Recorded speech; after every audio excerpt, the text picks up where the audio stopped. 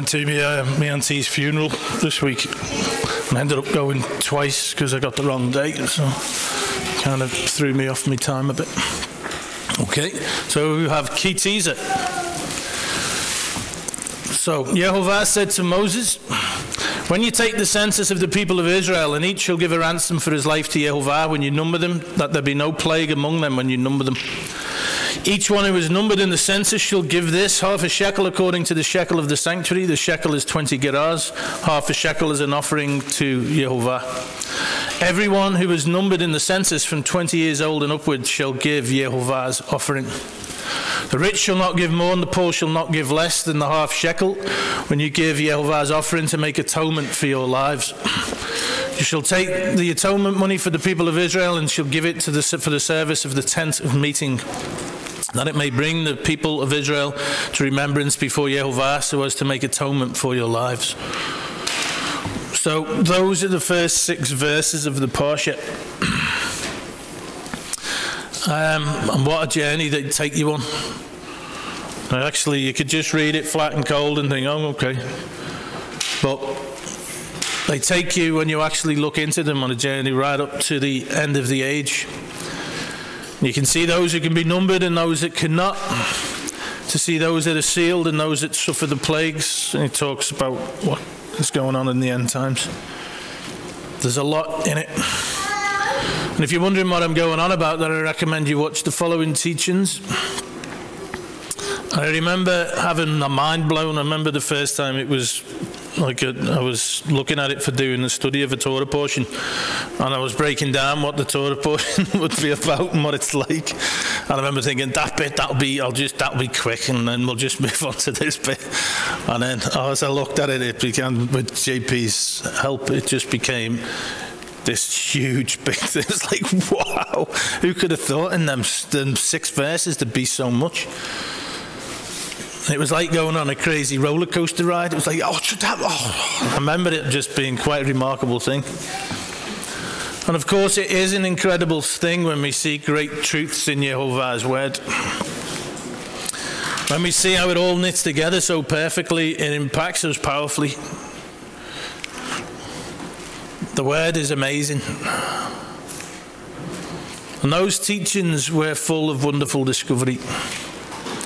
But there are some things in Jehovah's word that cannot be fully appreciated until experience teaches you. For example, you cannot fully appreciate how Jehovah feels when he laments that Israel's bride have played the whore until you've experienced to some extent what it feels like to feel betrayed. Until last week, I never fully understood my son. Do not despise Jehovah's discipline or be wary of his reproof. Jehovah reproves him whom he loves, as a father the son in whom he delights. I never really appreciated the powerful truth in those words. I now appreciate Jehovah in a way that goes beyond how I appreciated him previously. And I'll be talking about that in part two, probably. He is amazing. And I know it even more now. David said he meditated on the Torah all day. He said, Oh, how I love your Torah is my meditation all the day. My eyes are awake before the watches of the night that I may meditate on your promise. I bet he wasn't always looking to find great mysteries, but that he spent lots of time just quietly reflecting and enjoying the beauty of the one it describes. He understood how precious it is. Do you? The grass, the grass withers and the flowers fail, but the word of God endures forever. I wait for Jehovah, my soul does wait, and in his word do I hope. We've looked at this before to wait, to be bound together. I bind myself together with Jehovah. All these things my hand has made, and so all these things came to be, declares Jehovah. But this is the one to whom I will look. He was humble and contrite in spirit and trembles at my word. Jehovah, the creator of all things, says that he looks to those who tremble at his word. These are those he describes as the humble. Indeed, in 1 Peter we read, Clothe yourselves, all of you, with humility toward one another, for God opposes the proud, but he gives grace to the humble. Humble yourselves, therefore, under the mighty hand of God, so at the proper time he might exalt you. Casting all your anxieties upon him. Why? Because he cares for you. To be humble before Jehovah is to have reverence for his word, as opposed to what most people do, which is to lightly esteem it. We can trust in his word, it is unchanging. Forever, O Jehovah, your word is settled in heaven. The sum of your word is truth, and every one of your righteous ordinances is everlasting. His loving kindness, his kindness is great towards us, and the truth of Jehovah is everlasting. Praise Jehovah. We can trust in Jehovah. I, Jehovah, do not change. Just like his word. The counsel of the Lord stands forever, the plans of his heart to all generations. In the beginning was the Word, and the Word was with was within God, and the Word was God, was with God. If you want to know who the creator of all things is, then read his word. His word doesn't change because he doesn't change. In the word we discover exactly who it is we serve. Much the same way that we get to truly know somebody by spending time with them. When we read His Word again and again, we get to know Him more and more intimately. As we'll see as we go on, it's not just about reading it. His word is supernatural, and through it, Jehovah continues to teach us, to amaze us, to challenge us, and to encourage us. The word is amazing because Jehovah is amazing. Long may he continue to reveal himself to us through Scripture. And now we're going to move on to learn about another piece of furniture in the tabernacle. We're going to look at the bronze laver, which is closely related to the word. Jehovah said to Moses, You shall also make a basin of bronze with its stand of bronze for washing, and you shall put it between the tent of meeting and the altar, and you shall put water in it with which Aaron and his sons shall wash their hands and their feet. When they go into the tent of meeting, or when they come near the altar to minister, to burn a food offering to Jehovah, they shall wash with water so that they may not die. They shall wash their hands and their feet so that they may not die. It shall be a statute forever to them, even to him and to his offspring throughout their generations. So after entering into the only gate at the east end of the court, and after sacrificing at the brazen altar, the priest then proceeds to the holy place. However, after the sacrifice has been made, but before he can minister or approach Jehovah, he must wash in the laver, lest he die. Anyone unclean coming into the midst of the manifest presence of Jehovah will die. We read in Leviticus 15 Thus you shall keep the people of Israel separate from their uncleanness, lest they die in their uncleanness by defiling my tabernacle that is in their midst. Just as it is not a good idea to get too close to a live electrical source, Approaching the physical manifest presence of Jehovah is also not a good idea if you are unclean. Now, in Hebrew, the word for laver is kiao, however you pronounce that. It is also the word for furnace. We see in Proverbs 70 the refining pot is for silver and the furnace, the same word for gold, but Jehovah tests the hearts.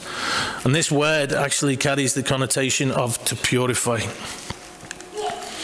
The bronze laver speaks to us of being washed in the water of the word, and we'll see this as we go through.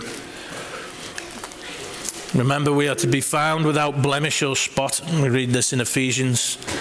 That he might sanctify the church, this is Yeshua, having cleansed it by what? By the washing of water by the word. So that he might present the church to himself in splendor, without spot or wrinkle, or any such thing, that she might be holy and without blemish.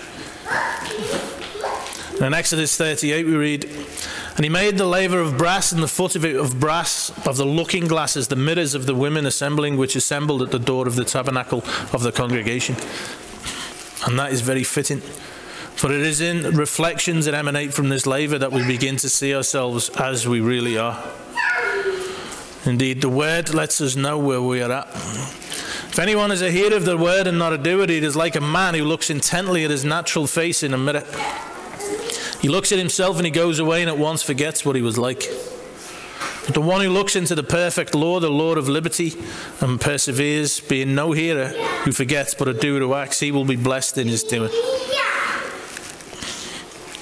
For the word of God is living and active and sharper than any two edged sword and piercing as far as the division of soul and spirit of both joints and marrow and able to judge the thoughts and intentions of the heart. When you look into the word, you can really, really see where you're at. And the word is incredible, and your response to Jehovah's word will reveal your heart. Now, in Exodus 29, Aaron and his sons are washed from head to toe in preparation for their ministry. The laver, however, is for the daily washing of the feet and hands only. And the difference between a full immersion and a daily washing is pictured in John 13. Yeshua washes the disciples' feet. We read. Now, before the feast of Passover, when Yeshua knew that his hour had come to depart out of this world to the Father, having loved his own who were in the world, he loved them to the end. And Yeshua, knowing that the Father had given all things into his hands and that he had come from God and was going back to God, he rose from supper, he laid aside his outer garments and taking a towel tied it around his waist. Then he poured water into a basin and began to wash the disciples' feet and to wipe them with the towel that was wrapped around him. So, Yeshua poured water into a basin, it says, and this is given to us very specifically as was the instructions regarding the bronze basin. Scripture doesn't waste any words, does it? We read in Exodus 30 You shall make a basin of bronze with its stand of bronze for washing. You shall put it between the tent of meeting and the altar. You shall put water in it. You could think, well, that's a pretty redundant phrase if we're going to be using it for washing, but it's important. Everything in Scripture is there for a reason. She'll put water in it. May seem an obvious station, but, uh, statement, but Scripture does not waste words. There's a connection here between what Yeshua is doing and the instructions for the bronze basin or laver. And he said to Simon Peter, uh, he came to Simon Peter who said to him, Lord, do you wash my feet? And Yeshua answered and he said to him, What I do you know not now, but you shall know hereafter. Now, what Yeshua is doing is demonstrating what it means to be a servant and what it is to be called to serve. But there's much more going on here besides that. Peter said to him, You shall never wash my feet. And Yeshua answered him and he said, If I wash you not, you have no part with me. And Simon Peter said to him, Lord, not my feet only, but also my hands and my head. And Yeshua said to him, He that is washed and this is this word luo, need not save to wash, and a completely different word there, his feet, but is clean every whit, and you are clean, but not all. And the word for luo there, here we have it, to bathe the whole person. Okay, whereas this other word is to cleanse, especially the hands, the feet, of the face to wash oneself as opposed to a complete cleansing.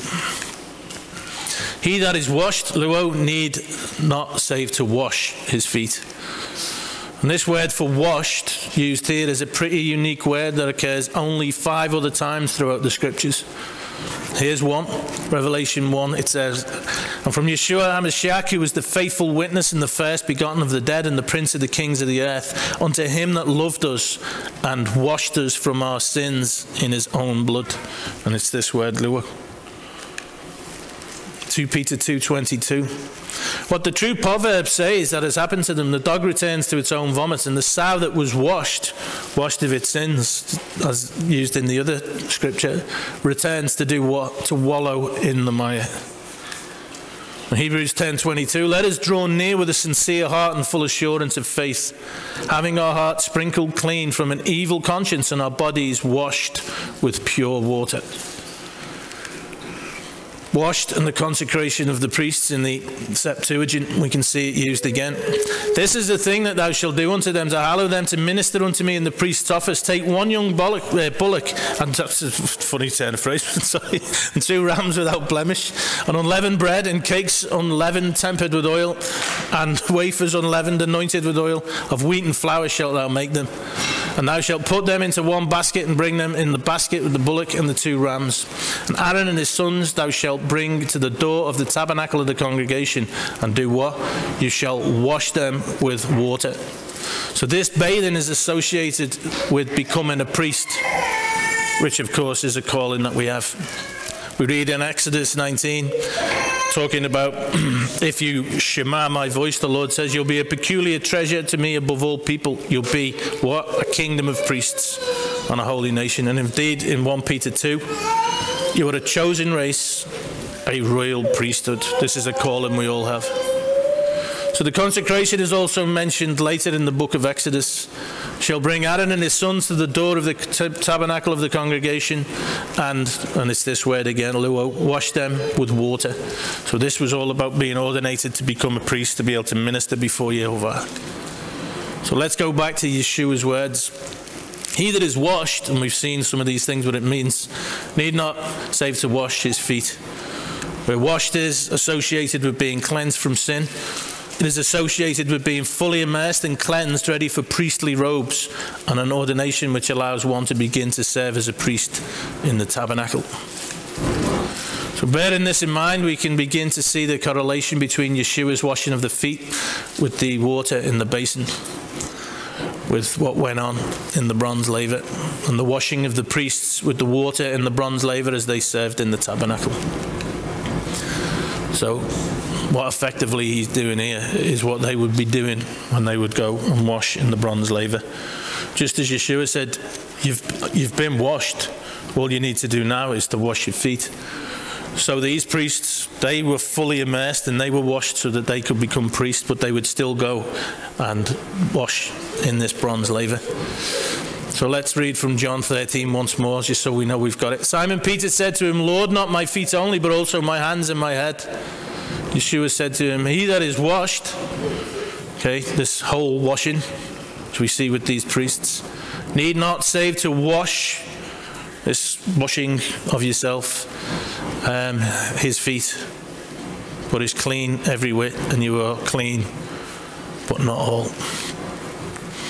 And then we go on in the passage, it says, For he knew who should betray him, therefore he said, You are not all clean. Now, Hands are an idiom for what you do, and washing the head is an idiom of having a clean heart, because the head and the heart are linked in Hebrew thought, aren't they? Who shall ascend the hill of Jehovah, and who shall stand in his holy place? He who has clean hands and a pure heart, who does not lift up his soul to what is false and does not swear deceitfully. James 4 8, we read, Draw near to God, and he will draw near to you. Cleanse your hands, you sinners, and purify your hearts you double minded. So now here we have priestly language, draw near. In Hebrew, from the word for draw near, karav, we get the word for offering korban. To have hands and heart and mind cleansed is to be washed. This is the washing luo that we looked at. The call here is for sinners to come and be washed, to be clean of their sins. This is a call for repentance. It talks about the double minded, running after the ways of the world when things seem difficult. We read in Psalm 84 Jehovah God is a sun and a shield, and Jehovah bestows grace and honor. No good thing does he withhold from those who walk uprightly. The word for uprightly is tamim, which means completely, having integrity entirely, the opposite of being double minded. And I'd just say to you if you have not walked uprightly, if you have been double minded, then you need to repent. If it's been a bit of a case of, well, I kind of just go along with the flow, but if, oh, in this instance, I'll just have to forget it. Now, the idea of Jehovah's people being double minded reminds me of this verse. 1 Kings 18. Elijah came near to all the people and he said, How long will you go limping between two different opinions? If Jehovah is God, follow him. But if Baal, then follow him. And the people did not answer him a word. So many people profess to love Yehovah and to be his and to be one of his children. To know who he is and to have faith in him, to believe in him. But their lives don't reflect that at all. If Yehovah is God, follow him. Fully, completely, uprightly, tamim, with everything that you've got. If Yehovah is God, follow him, walk in his ways. Now, the purification of the flesh at the priest's ordination involved the mikveh, the baptism of full immersion. And it was all about washing the flesh. When we're baptized, full immersion, it is an appeal for a clean conscience. 1 Peter 3:21. Baptism which corresponds to this now saves you not as a removal of dirt from the body, but as an appeal to God for a good conscience through the resurrection of Yeshua HaMashiach. The purification of the conscience involves repentance. It involves being baptized into Yeshua's death that we might know eternal life through him. Baptism speaks of teshuva, which is repentance. Repentance, shuv, to turn. To turn from going your own way, which leads to death. To walking in Yehovah's ways, the paths of righteousness, the paths of life. With the commandments are directions that keep you on the path. The parent root for the word commandment, mitzvah, is zav, direction. Indeed, in Deuteronomy 4:2, you shall not add to the word that I command you, nor take from it that you may keep the commandments of the Lord your God that I command you. Just do his word. Don't deviate from it one way or the other. Be upright, be fully committed to Jehovah, walk in his ways. Baptism is all about dying to self. And from this point on, we are cleansed of our sin. That is the things that we have done, as represented by our hands, and our temples, our hearts and minds are purified by what Yeshua has done for us. And once we are cleansed, we can be the dwelling place of Jehovah's Spirit, which is the Spirit of holiness. That we might, as one of his nation of priests, minister just as Aharon and his sons did in the earthly tabernacle. Or do you not know that your body is a temple of the Holy Spirit within you, whom you have from God, and you are not your own? You were bought with a price, Yeshua's blood, to glorify God in your body. Our bodies are the temple, the tabernacle, and we're called to serve as priests. We're to offer up spiritual sacrifices acceptable to God by Yeshua HaMashiach. Indeed, Romans 12, I beseech you, therefore, brethren, by the mercies of God, that you present your body as a living sacrifice, wholly acceptable unto God, which is your reasonable service. So everything that we see these priests do is a picture for us to learn from, and how we're to offer, how we are to be, and how we're to offer up spiritual sacrifices, how we're to draw near to Jehovah. So we've said before, there are three tabernacles mentioned in Scripture. The earthly tabernacle, the Mishkan, which deals with the flesh model after the heavenly tabernacle, the Mishkan, which deals with the cleansing of the conscience. And as we've just read, our bodies are a temple, deals with the spirit. The earthly sacrifices are pictures of what Yeshua has achieved in the heavenly realm and serve as images of what Yehovah asks us to bring spiritually, thus completing the means by which we purify the body, the conscience, and the spirit. And we come with the korban offerings, as we've just seen before. Korban from the word karav, which means to draw near. That's how we draw near. And it all begins with the whole offering, or the Olah offering, which is about complete surrender, which is also what baptism is all about. As we read earlier, let us draw near with a sincere heart, in full assurance of faith, having our hearts sprinkled clean from an evil conscience and our bodies washed, and it's this word again, with pure water. So baptism is all about dying to self, it's all about repentance. And from this point on, we've been cleansed. But just like the priests in the earthly tabernacle who were fully immersed when they were ordained, yet washed daily in the water of the bronze basin, the bronze laver, we also need to be taking care to be continually washed, continually washed in the water, which, as we've seen, is an idiom for the word. And for all of us who've been baptized and turned to Yehovah, we can know this. We were buried, therefore, with him by baptism into death, in order that just as Christ was raised from the dead by the glory of the Father, we too might walk in the newness of life. I have been crucified with Christ. It is no longer I who live, but Christ who lives in me. The life I now live in the flesh, I live by faith in the Son of God who loved me and gave himself for me. For as many of you have been baptized into Christ have put on Christ. That's what baptism is all about. You go down into the water and you die to yourself and you raise up in the newness of life. So I ask you, do people get a sense of, well, I ask myself, of who Yeshua is from their encounters with me? Those whom he foreknew, he also predestined to be conformed to the image of his Son in order that he might be the firstborn among many brothers. I've died to self so that Christ might live, that I might be conformed to his image. And I ask myself, have I even come close to looking like Yeshua?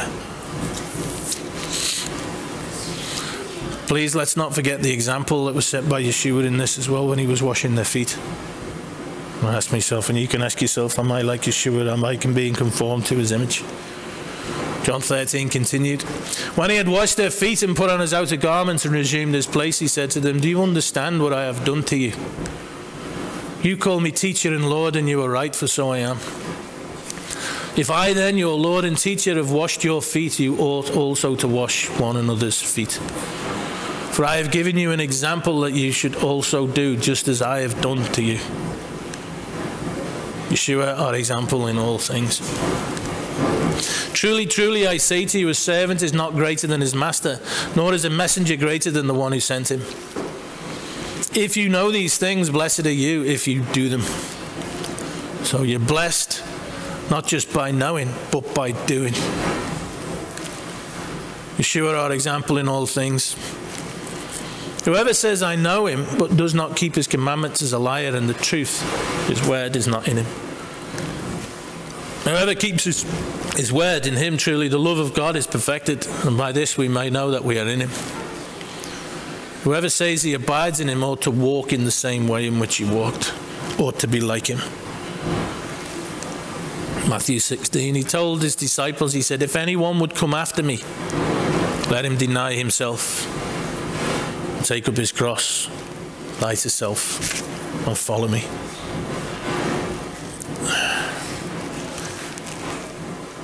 It's an incredible invitation, isn't it? That he would say, Come, follow me, come. Die to yourself. Come on, come follow me, walk in my ways and know life. Walk with me.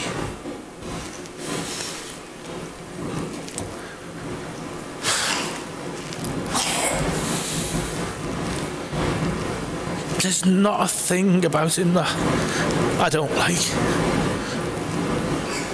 Every word that came out of his mouth. Even difficult words that people might not want to hear.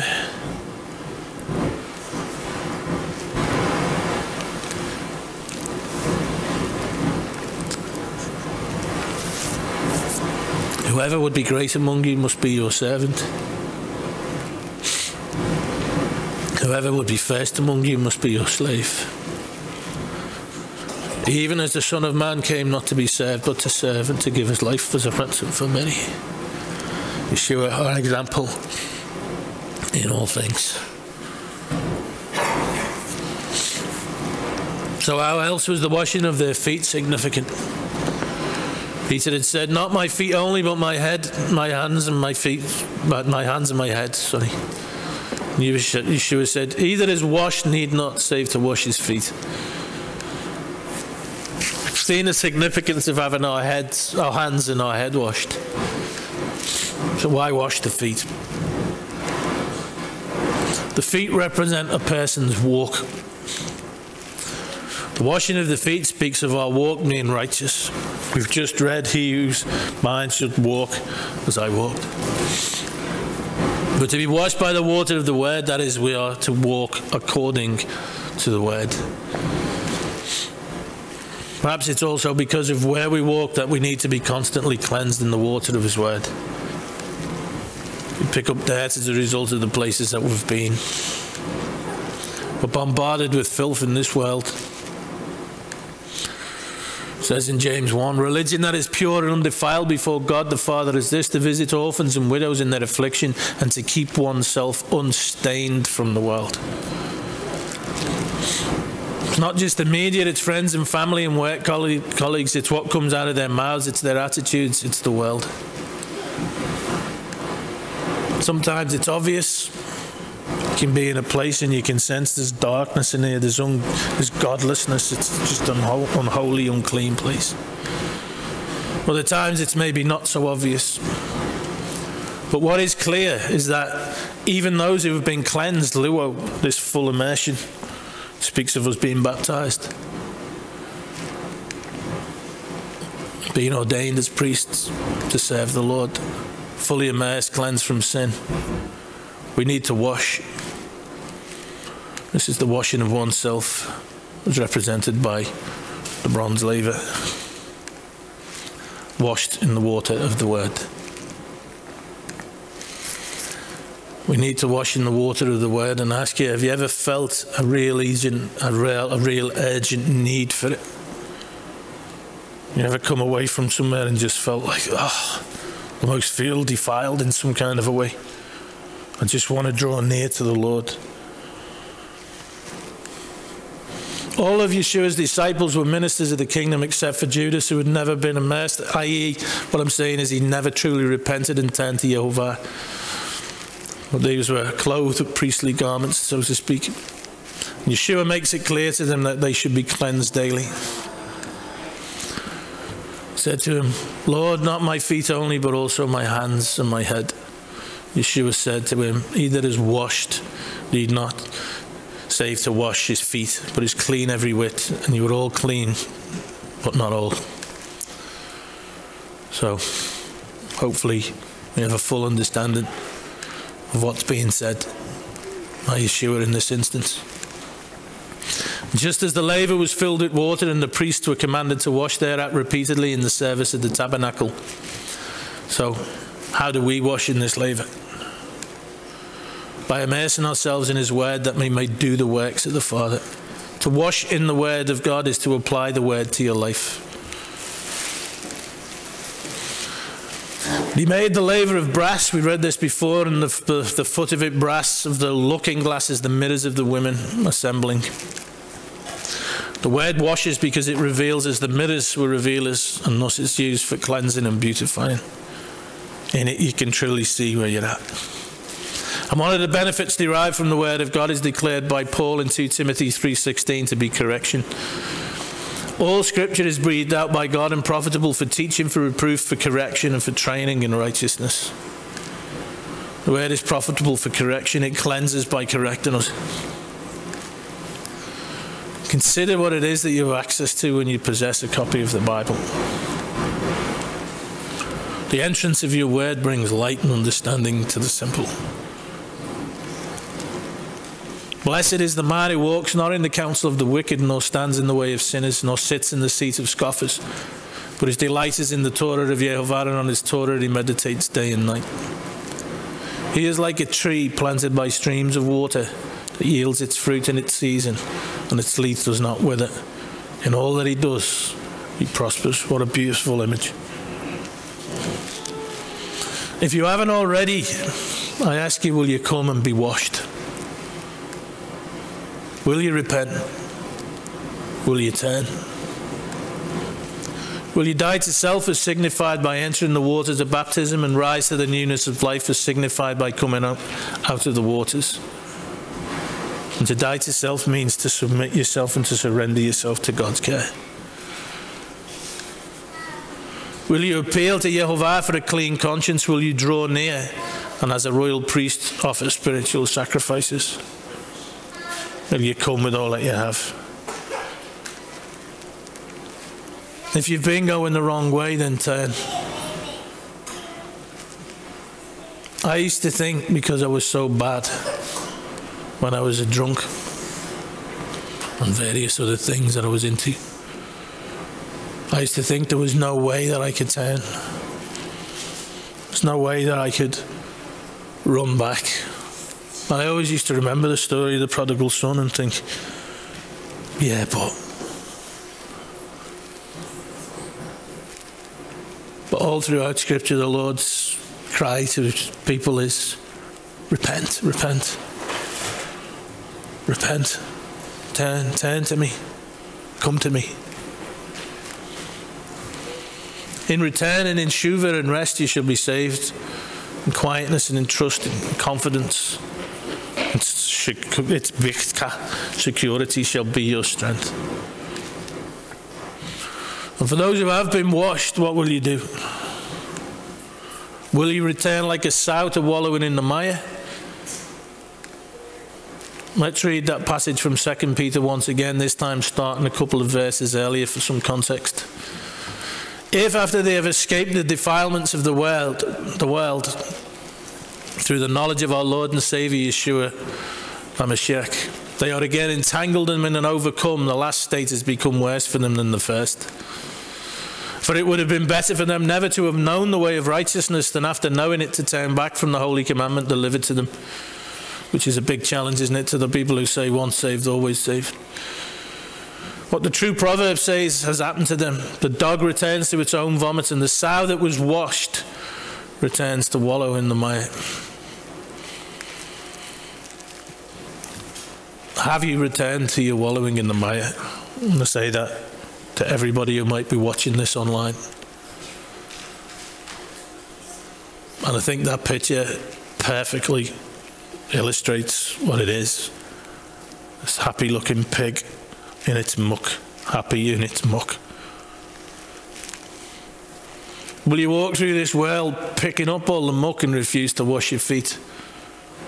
Or will you actually wash in the water of the Word and let the Word determine your walk? Remember, the washing of the feet speaks of our walk being righteous. We are to be washed by the water of the Word, that is, we are to walk according to the Word. It's so many people don't want to, do they? They want to go back to wallowing in the mire. The Word became flesh and dwelt among us, and we have seen His glory. Glory is of the only Son from the Father, full of grace and truth. To let the Word determine your walk is what it means to be surrendered and to pick up your cross and follow Yeshua. To be like Him, who was indeed the Word made flesh. Then we walk in the Word. And whoever says, I know him, but does not keep his commandments is a liar, and the truth is not in him. Truth, his word is the truth. But whoever keeps his word, in him truly the love of God is perfected. By this we may know that we are in him. Whoever says he abides in him ought to walk in the same way in which he walked, to walk according to the word. And ask yourself the question Will people get a sense of who Yeshua is from their encounters with you? All supposed to be conformed to the image of his son. Ask yourself do you wash in the water of the word? The Lord of the Lord is perfect, reviving the soul. The testimony of the Lord is sure, making wise the simple. The precepts of the Lord are right, rejoicing the heart. The commandment of the Lord is pure, enlightening the eyes. The fear of Jehovah is clean, enduring forever. The rules of Jehovah are true and righteous altogether. More to be desired are they than gold, even much fine gold, sweeter also than honey and drippings of the honeycomb.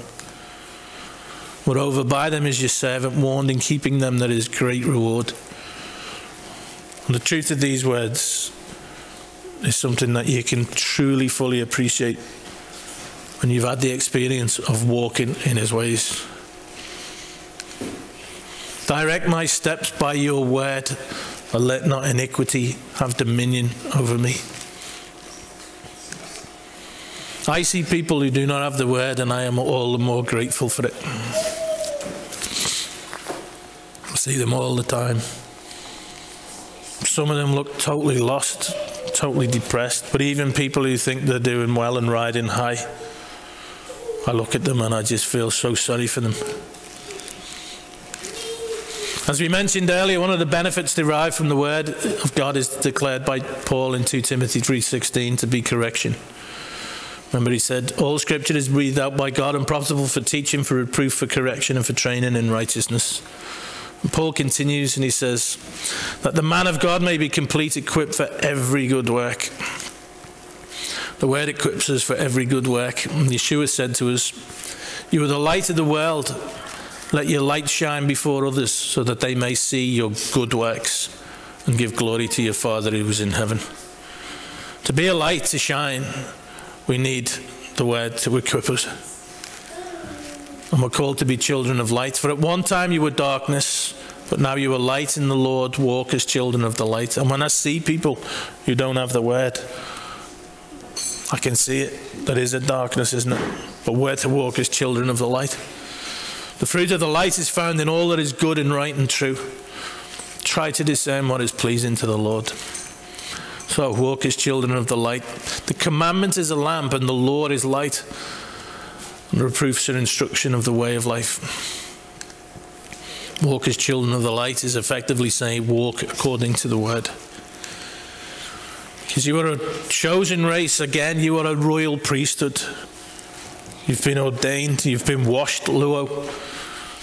A holy nation, a people for his own possession, that you may proclaim the excellencies of him who did what? He called you out of darkness into his marvelous light.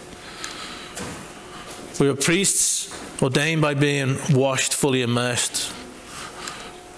Just like those in the tabernacle, we continue to wash ourselves. We are children of the light, washed in the water of the word. Yeshua spoke to them again, saying, I am the light of the world. Whoever follows me will not walk in darkness, but will have the light of life. And to let the word determine your walk is what it means to be surrendered and to pick up your cross and follow Yeshua, as we've said.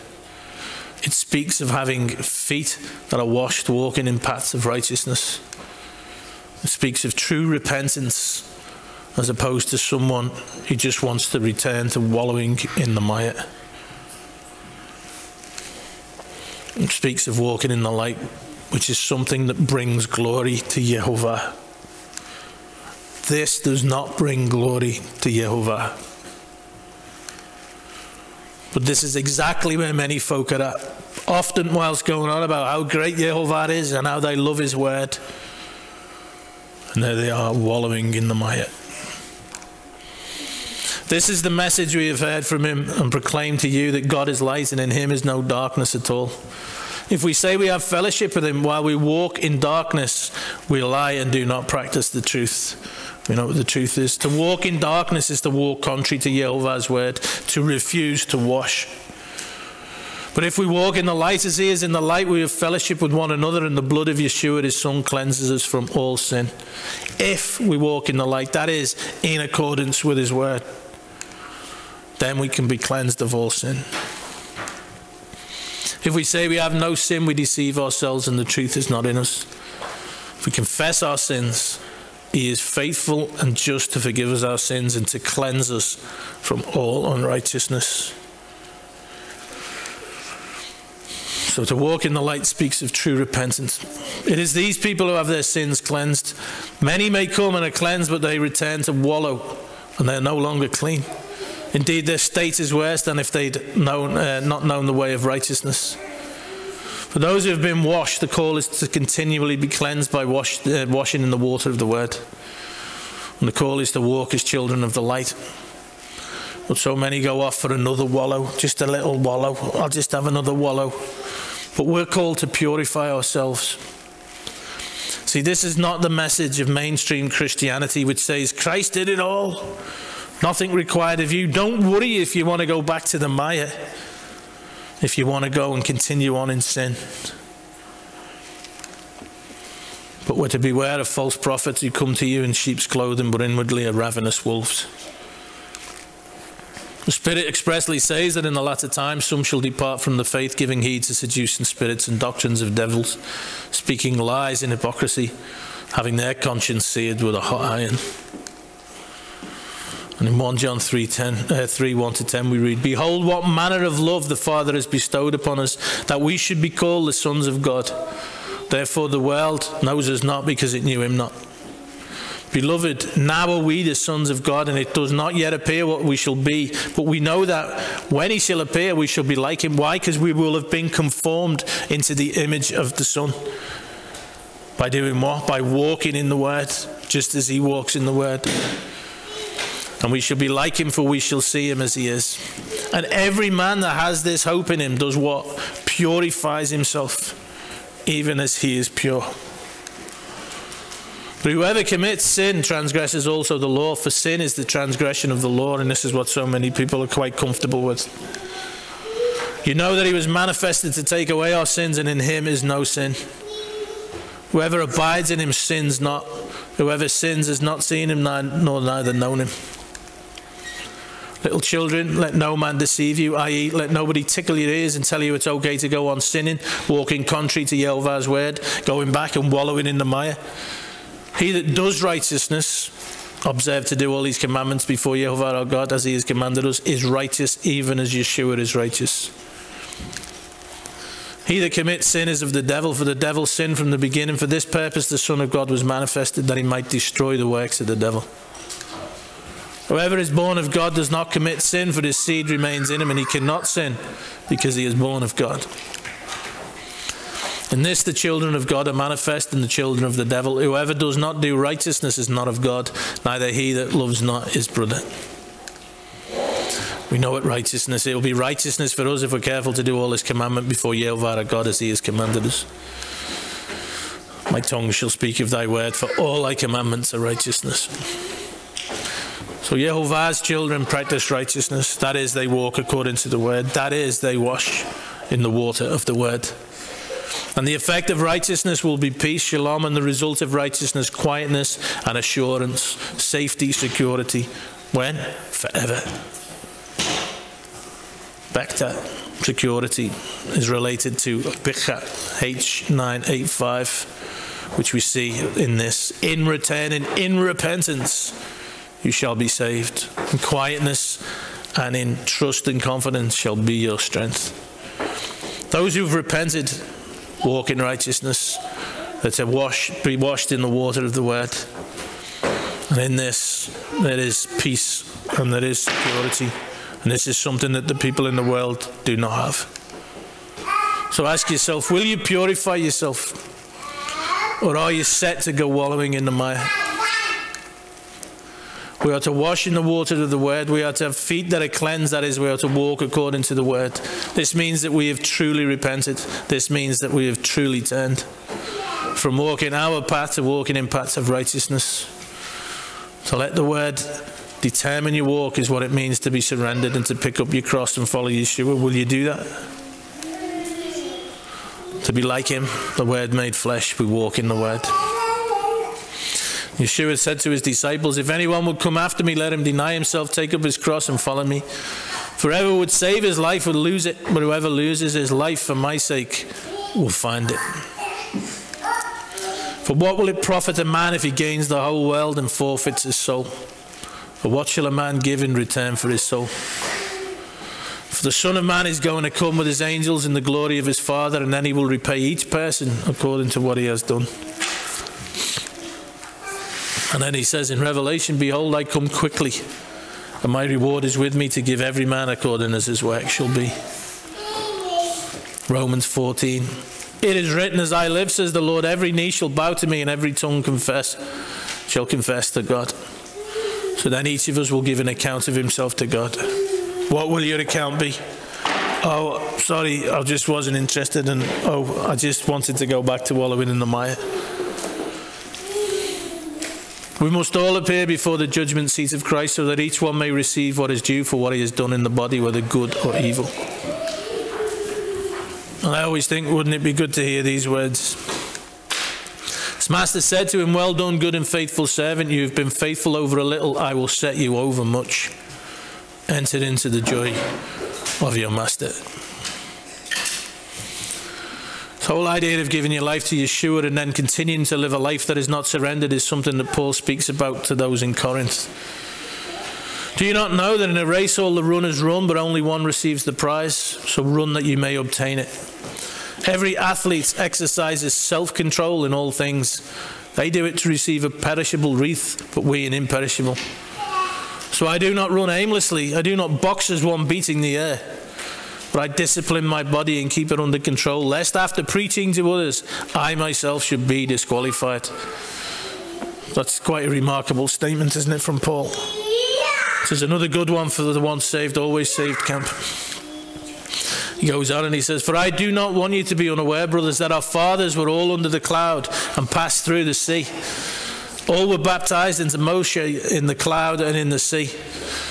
So he's talking about the Red Sea crossing. Again, we have this picture of being washed. There's a picture of the ordination of the priest, and there's a picture of us being baptized. And all ate the same spiritual food, and all drank the same spiritual drink, for they drank from the spiritual rock that followed them, and that rock was Christ. Nevertheless, with most of them, God was not pleased, for they were overthrown in the wilderness. But these things took place as examples for us that we might not desire evil as they did. Do not be idolaters as some of them were, as is written, the people sat down to eat and drink and rose up to play, which is a reference to the golden calf incident in our Parsha. We must not indulge in sexual immorality as some of them did, and 23,000 fell in a single day.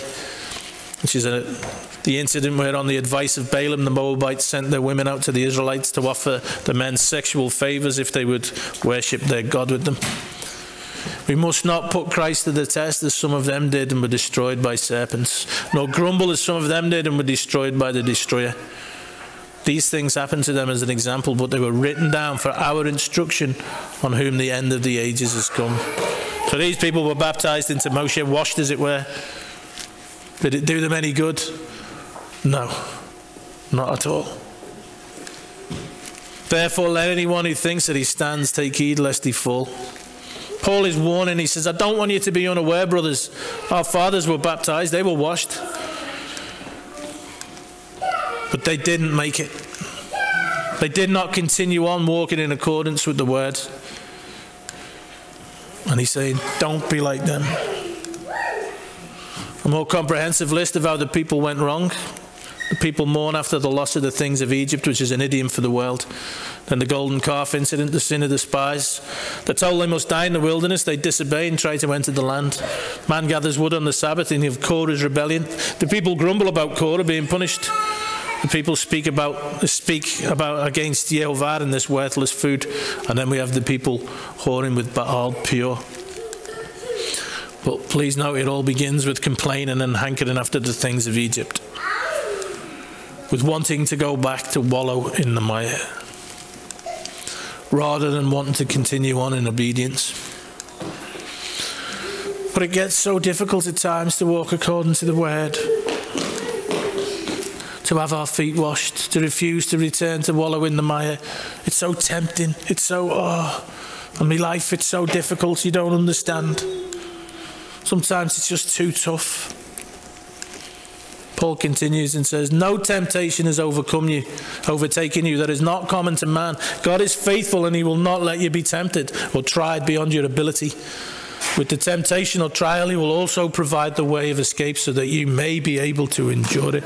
You are without excuse. If you go running off to wallow in the mire, it is because you desire to do it. Therefore, my beloved, flee from idolatry. what is idolatry? Putting anything before Jehovah. Again, I'd say to you, if you've been going the wrong way, then turn. Blessed is the one whose transgression is forgiven, whose sin is covered.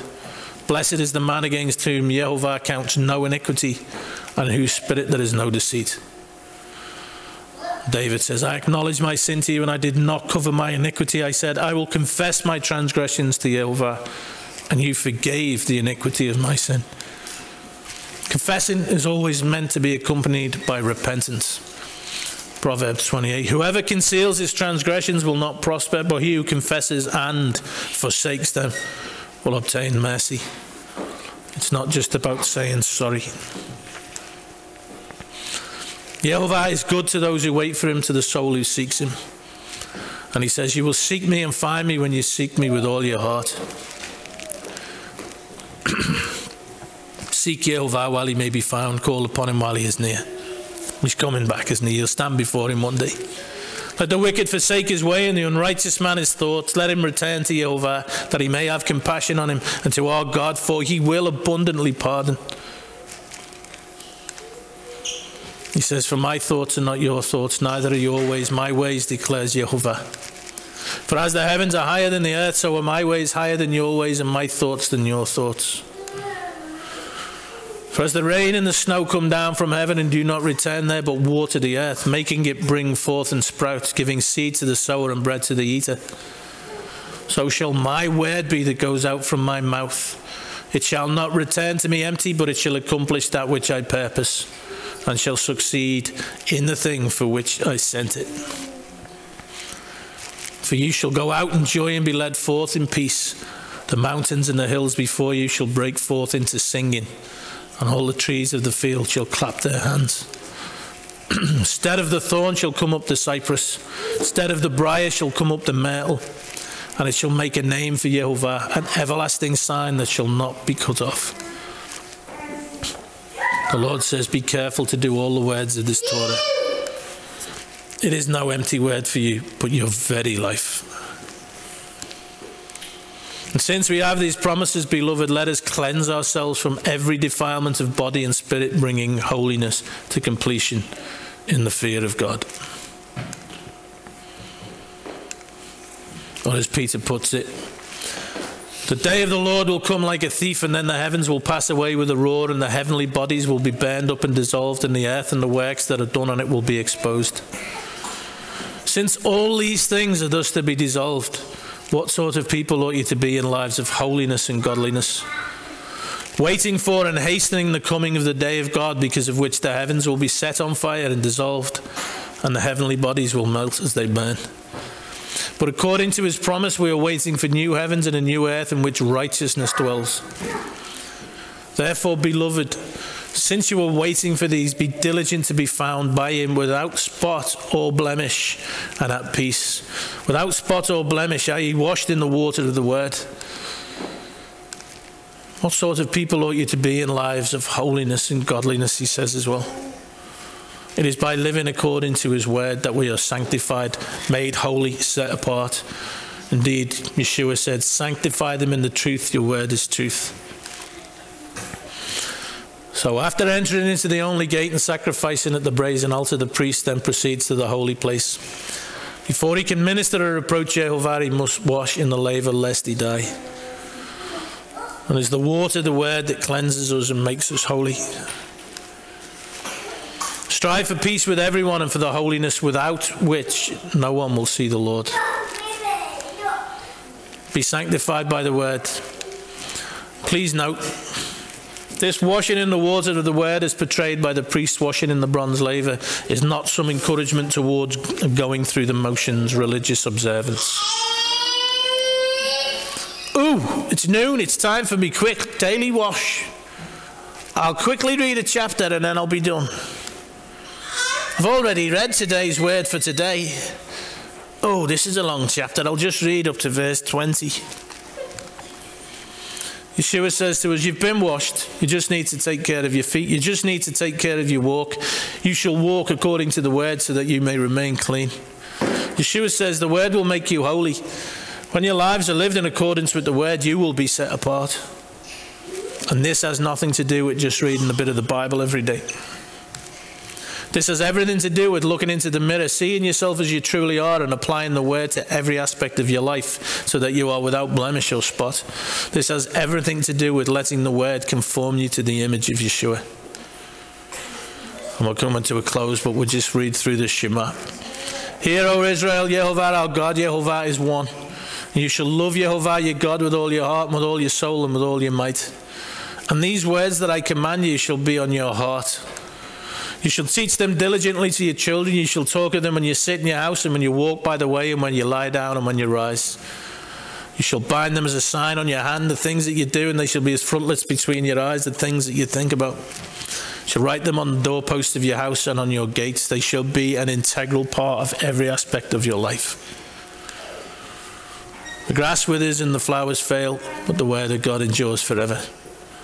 I wait for Jehovah, my soul does wait, and in his word I do hope. To wait, to bind yourself together with him. The word of Jehovah is amazing. And that's because Jehovah is amazing. We'll come back. Okay, Ki Tisa part two. Right, at the start of part one, we read My son, do not despise Jehovah's discipline or be wary of his reproof. For Jehovah reproves him whom he loves as a father the son in whom he delights. And this passage is quoted in Hebrews 12 5 to 6. Now, at the end of the part, we read, Strive for peace with everyone and for the holiness without which no one will see the Lord. now, in chapter 32 of our Parsha, we have the golden calf incident. And at the end of the chapter, we read, Then Jehovah sent a plague on the people because they made the calf, the one that Aaron made. And I ask myself, is this judgment or discipline? Well, for now, let's read more from Hebrews 12. We've kind of touched on the beginning and the end. So, Hebrews 12. Consider who, him who endured from sinners such hostility against himself, so that you may not grow weary or faint hearted. In your struggle against sin, you have not yet resisted to the point of shedding your blood. And have you forgotten the exhortation that addresses you as sons? My son, do not regard lightly the discipline of the Lord, nor be weary when reproved by him. For the Lord disciplines the one he loves and chastises every son whom he receives. It is for discipline that you have to endure. God is treating you as sons. For what son is there whom his father does not discipline? If you are left without discipline in which all have participated, then you are illegitimate children and not sons. Besides this, we have earthly fathers who disciplined us and we respected them. Shall we not much more be subject to the Father of spirits and live? They disciplined us for a short time as it seemed best to them, but He disciplines us for our good that we may share His holiness. For the moment, all discipline seems painful rather than pleasant, but later it yields the peaceful fruit of righteousness to those who have been trained by it. Peaceful fruit of righteousness. Looked at this before. The effect of righteousness will be peace. The result of righteousness, quietness and assurance forever. Therefore, lift your drooping hands and strengthen your weak knees. In other words, finish the race just like Paul. Make straight paths for your feet so that what is lame may be not put out of joint but rather be healed. In other words, walk in righteousness, walk with feet washed in the water of the word. Strive for peace with everyone and for the holiness without which no one will see the Lord. Be sanctified by the word. See to it that no one fails to obtain the grace of God, that no root of bitterness springs up and causes trouble, and by it many become defiled. And when I read root of bitterness, it brings to mind wormwood. So, we have all these verses exhorting us to walk in the word, and then we have this warning about the root of bitterness. And it's interesting to see what Scripture has to say about the root of bitterness. As I say, it brings to mind for me wormwood. Wormwood is associated with the desire to do away with Jehovah's law and follow one's own heart and instead worship false gods. Jeremiah 9. Jehovah said, Because they have forsaken my law which I set before them and have not obeyed, shemad my voice, neither walked therein. So they didn't walk in the word, but have walked after the imagination of their own hearts and after Baalim, which their fathers taught them after false gods. Therefore, thus says Jehovah Zavaot, the God of Israel Behold, I will feed them, even this people, with wormwood, and give them water of gall to drink. In the end times prophecy, we read Revelation 8. The name of the star is called Wormwood, and the third part of the waters became wormwood, and many men died of the waters because they were made bitter. The third of the waters are infected with wormwood, become wormwood. What are the waters? Revelation 17, the angel said to me, The waters that you saw were the prostitutes seated of peoples and multitudes and nations and languages. Well, you've got the world population of 6.9 billion. Christians who've forsaken the law, we've got a 2.3 billion. And we know what happened to the ten northern tribes who mixed worship of Jehovah with the worship of the pagan gods of the nations, which we've seen as a root of wormwood. Don't let this happen to you. Do not mix and mingle the Torah of Jehovah with humanistic philosophies, philosophies, with secular value systems, or with institutional forms of religious expression. If we go back to Hebrews 12, see to it that no one fails to obtain the grace of God, that no root of bitterness springs up and causes trouble, and by it many become defiled. The language is quite keen, isn't it? Don't become defiled, don't become unclean. That no one is sexually immoral or unholy like Esau, who sold his birthright for a single meal. For you know that afterward, when he would have inherited the blessing, he was rejected, for he found no place of repentance, no place of turning, though he sought it carefully with tears. Repentance is not about feeling and expressing remorse, as we've said. Esau was driven by his desires, the flesh, yet wanting the inheritance of those who were set apart, the holy. So from Hebrews 12, we have make straight paths for your feet. See to it that no one fails to obtain the grace of God by going after false gods and forsaking the Torah. Strive for peace with everyone and for the holiness without which no one will see the Lord. Do not despise the discipline of Jehovah, for he disciplines us for our good, that we may share his holiness, that we might enjoy the, the peaceful fruits of righteousness. Now, I learned an awful lot about discipline these past two weeks. Um, I'll be careful what I say because I'll be talking about my brother and I don't want to say too much. My brother uh, likes to drink too much. I think he's finally realised that it's a problem. What this actually represents after like days of real bad drinking, of um, his being abusive, being a danger to himself. Um, he went out, and I said to him, I said, if you come back, he was drunk even when he left, and I said, if you come back with drink or having drank more, then I will not let you in the house. And he went off. He was gone 40 minutes. It was a 10 minute walk to the shop and a 10 minute walk back. And in that time, he managed to drink all this alcohol. That's a bottle of whiskey. And he was already drunk. And I said to him, I told you what would happen, that you're not coming in he was in such a state. I, he was, he was absolutely out cold, stood up. When I opened the gates, he fell to the floor and I had to drag him, and he ended up here because I said to him when he left, if you come back having drank or with drink, I will not let you in the house. He was out cold. And so I put a sleeping bag on him, put a blanket under him, put a duvet over him, and I put this big survival sheet over the top of him and give him some pillows. And that's the doorstep of our house. And then I locked the door. And obviously, he come round many hours later and was abusive because I wouldn't let him in the house. Um, things got quite bad. Um, the next day, I drove him to an ex girlfriend's of his, and she wouldn't have him in the house, but she gave him money and he went off and he got drunk again, and then he came back and the abuse started again. But I told him while you're drinking, you cannot come in the house, and I was so clear about it. And through all this process, all this, I'm just thinking about how it is with Jehovah when He speaks to us, and how we behave, and how we must feel. Um, when He says, "If you do this, this will happen," and we do it anyway, and then when the consequences come, we're just so like, "What? What are you doing?"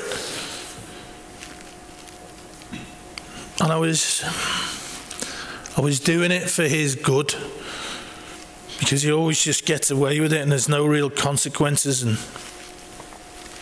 I wanted him to realize this is where you're headed if you carry on living like this. At some point, you will inevitably end up with nothing. And for his own good, I wanted him to taste that. We went out that day, another day, he was He was going to stay at this girl's and she wouldn't have him, and then he had to come back. And he was annoyed because he was trying to get friends to have him stay. I had to lend him my own phone so he could phone them up and tell them how much he thought of me on my phone and asked him if he could stay, and he couldn't. So he ended up back here again. And I um, it was cold as well. And I was inside in the house and the door was locked. And I knew he needed drink to come down, so I, well, no, I'm not cruel, so I gave him some alcohol and he'd lost everything and he had nothing and I knew he smoked so I gave him some cigarettes and then I went upstairs and I had the rest of the cigarettes and I had access to beer loads of it and I had money and he had none and I was upstairs and I just it was so difficult I had all this power over him, and I was. i I said to the Lord, I don't want this. I don't like this. I don't like this. This feeling. Why? Like I've got this, these cigarettes, and I'm going to give him. It just felt horrible. And he's outside, and I know he's cold and he's suffering, and I hated every second of it. And I cried because it felt so horrible. But I knew it was for his own good. But it was so difficult. And I went down to check on him, and um, he'd kind of sobered up a little tiny bit. And this also, there's so much I learned in what he said and how I felt when he said it. He'd been giving me abuse, I mean, filthy, horrible abuse for like a long time, like a week and a half. And then he said, as he's outside and I'm about to lock the door again and I'm about to lock him out again, he said, Well, I can see that you don't want me to suffer. And I got real comfort in that. And then he said something else which was quite remarkable. He said, Maybe this is for my own good. And I thought, wow. I know how that made me feel. How must it make the Lord feel when He disciplines us and it's so difficult for him because he loves us so much. But he wants what's good for us. And we turn around and we acknowledge to him rather than being abusive and why is this what? And we acknowledge to him, Lord, I know that you mean me no harm. And maybe this is for my own good. And I thought of all the times in my life when I'd treated Jehovah like my brother was treating me. I thought of how much he must have hurt when he punished me. How amazing it must have been for him when I finally surrendered to him and apologized. I learned so much about how difficult it is to love somebody in that way.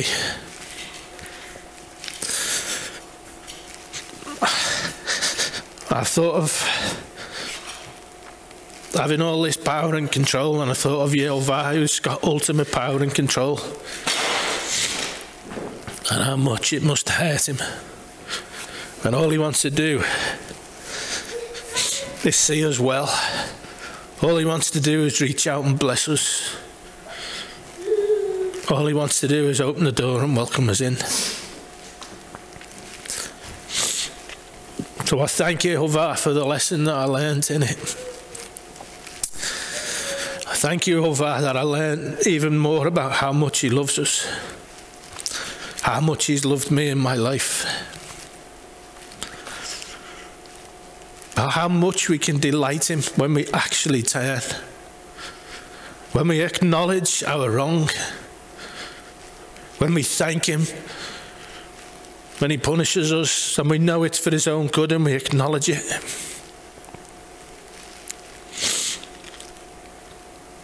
I thank Him for the way that He loves us.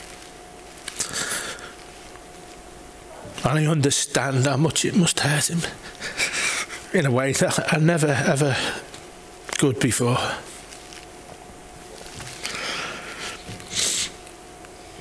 He is incredible. Even more incredible than I ever thought before. Bless your holy name, Jehovah. Thank you. Thank you for all the discipline that you've put me through in my life. Thank you for loving me the way that you have. Amen. Amen. So, I learned about how it feels to be a disciplinarian and how incredibly difficult it is and how much it hurts you. Can say a lot about how wonderful our Elohim is, about how much pain we cause him when we go off the rails. And then I read passages like this and it makes so much more sense to me. Hear, O heavens, and give ear, O earth, for Jehovah has spoken. Children have I reared and brought up, but they have rebelled against me. The ox knows its owner, and the donkey, donkey its master's crib, but Israel does not know. My people do not understand. Our sinful nation, a people laden with iniquity, offspring of evildoers, children who deal corruptly, they have forsaken Jehovah. They've despised the Holy One of Israel. They are utterly estranged. Why will you be struck down? Why will you continue to rebel? The whole head is sick and the whole heart faint. From the sole of the foot even to the head, there is no soundness in it, but bruises and sores and raw wounds. They are not pressed out or bound up or softened with oil. And then I looked at my brother continually just abusing himself. The question was, why? Why? I can see so many parallels. Your country lies desolate, your cities are burned with fire, in your very presence foreigners devour your land. It is desolate as overthrown by foreigners. The daughter of Zion is left like a booth in a vineyard, like a lodge in a cucumber field, like a besieged city. If Jehovah Zabayot had not left us a few survivors, we should have been like Sodom and become like Gomorrah. Hear the word of Jehovah, you rulers of Sodom. Give ear to the teaching of our God, you people of Gomorrah. What to me is the multitude of your sacrifices, says Jehovah. I've had enough of your burnt offerings of rams and the fat of well fed beasts. I do not delight in the blood of bulls or of lambs or of goats. And again, I see a parallel with my brother when he would say the things he thought I wanted to hear at times. When you come to appear before me, who has required of you this trampling of my courts? Bring no more vain offerings, incense, and abomination to me. New moon and Sabbath and the calling of convocations. I cannot endure iniquity and solemn assembly. New moons and your appointed feasts my soul hates. They've become a burden to me. I am weary of bearing them. When you spread out your hands, I'll hide my eyes from you. Even though you make many prayers, I will not listen. Your hands are full of blood. Wash yourselves. Make yourselves clean. Remove the evil of your deeds from before my eyes and cease to do evil. I can hear in it now a real hurt that I couldn't hear before. And in it, this real desire for the best for these people. Cease to do evil, repent, learn to do good, seek justice, correct oppression, bring justice to the fatherless, plead the widow's cause walk in accordance with my word. Come now, nes Yelach, It's just a walk, come. Let us reason together. Says Jehovah, though your sins be uh, like scarlet, they shall be white as snow. They are red like crimson, they shall become like wool. This word there is actually to correct, to reprove, to chasten. You can see how it's used in Scripture. So the Lord says, Walk to me, let me reprove you, chastise you, correct you. Why? That you might be clean. Wash yourselves, make yourselves clean, remove the evil of your deeds from before my eyes, cease to do evil, learn to do good, seek justice, correct oppression, bring justice to the fatherless, plead the widow's cause. If you are willing and obedient, you shall eat the good of the land. Things will go well for you. But if you refuse and rebel, you shall be eaten by the sword, for the mouth of Jehovah has spoken. How the faithful city has become a whore. She who was full of justice, righteousness lodged in her, but now murderers. Your silver has become dross, your best wine mixed with water. Your princes are rebels and companions of thieves. Everyone loves a bride and runs after gifts. They do not bring justice to the fatherless, and the widow's cause does not come to them. Therefore, the Lord declares, Jehovah Zavaot, the mighty one of Israel. Will get relief from my enemies and avenge myself on my foes. I will turn my hand against you and smelt away your dross as with lye and remove you, all your alloy and I will restore your judges as at the first and your counselors at the beginning. Afterwards, you shall be called the city of righteousness, the faithful city. Zion shall be redeemed by justice, and those in her who repent by righteousness. But rebels and sinners shall be broken together, and those who forsake Jehovah shall be consumed. Jehovah wants his people to repent. He says, Continue on in this way. Look what will become of you. Why would you do this? Wash yourselves. If you return to Jehovah, your brothers and your children will find compassion with their captors and return to this land. For Jehovah your God is gracious, He's merciful, and he will not turn away his face from you if you return to him, if you repent. Cast away from you all the transgressions that you have committed and make yourselves a new heart and a new spirit. Why will you die, O house of Israel? Why are you doing this? I have no pleasure in the death of anyone, declares the Lord God. So turn, repent, and live. Can you hear how much it must hurt him? The Lord is not slow to fulfill his promises, some count slowness, but is patient towards you, not wishing that any should perish, but that all should reach repentance. Turn and live. Always the message is repent. After talking of the great and terrible day of Jehovah, we read in Joel, Yet even now declares Jehovah, return to me with all your heart, with fasting, with weeping and mourning. Rend your hearts, not your garments. Return to Jehovah your God, for he is gracious and merciful, slow to anger, and abounding in kindness, in steadfast love, and he relents over disaster. In Psalm 103, as a father shows compassion to his children, so Jehovah shows compassion to those who fear him. The word is racham. To love deeply and have mercy, have tender affection. This word James shares the same root as rechem, which is the Hebrew word for womb. You can hear how Jehovah feels in these words. Oh, that they had such a heart in them that they would fear me and always keep my commandments, that it might be well with them and with their children forever.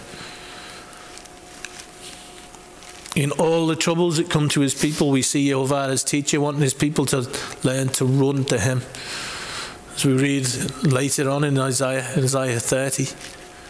Though the Lord give you the bread of adversity and the water of affliction, yet your teacher will not hide himself any more, but your eyes shall see your teacher.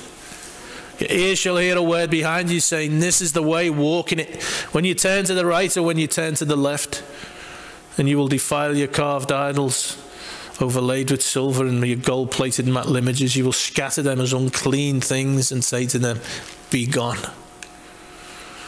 And the passage continues with the blessings that will then come. To the church in Laodicea, you say, I am rich, I have prospered, and I have need of nothing, not realizing that you are wretched, pitiful, poor, blind, and naked. I counsel you to buy from me gold refined by the fire, so that you may be rich, white garments, so that you may clothe yourselves, and the shame of your nakedness may not be seen, and salve to anoint your eyes, so that you may see. Fire. Behold, I've refined you, but not as silver. I've refined you in the fairness of affliction. The fire that it talks about is this fire of affliction. And he says, Those whom I love, I reprove and discipline. So be zealous and repent. Behold, I stand at the door and knock. If anyone hears my voice and opens the door, I will come into him and eat with him, and he with me. The fire, the great tribulation, by gold refined in the fire. Repent. Those I love, I reprove and discipline. Repent. And of course, a great multitude nobody can mention from every nation will be clothed in white. They will have repented. These are the ones coming out of the fire, those who have been beheaded for the testimony of Yeshua and the word of God. For many who go through the tribulation, we see that Jehovah's discipline brings repentance and life. The punishments of Jehovah are the actions of a loving Father. Proverbs 1. How long, O simple ones, will you love being simple? How long will scoffers delight in their scoffing and fools hate knowledge? If you turn, if you repent at my reproof, behold, I will pour out my spirit to you. I will make my words known to you. Here we see discipline. Discipline leads to repentance. But for those who refuse to repent at Jehovah's reproof, we see judgment. Because I called and you refused to listen, have stretched out my hand and no one has heeded. Because you've ignored all my counsel and would have none of my reproof, none of my discipline.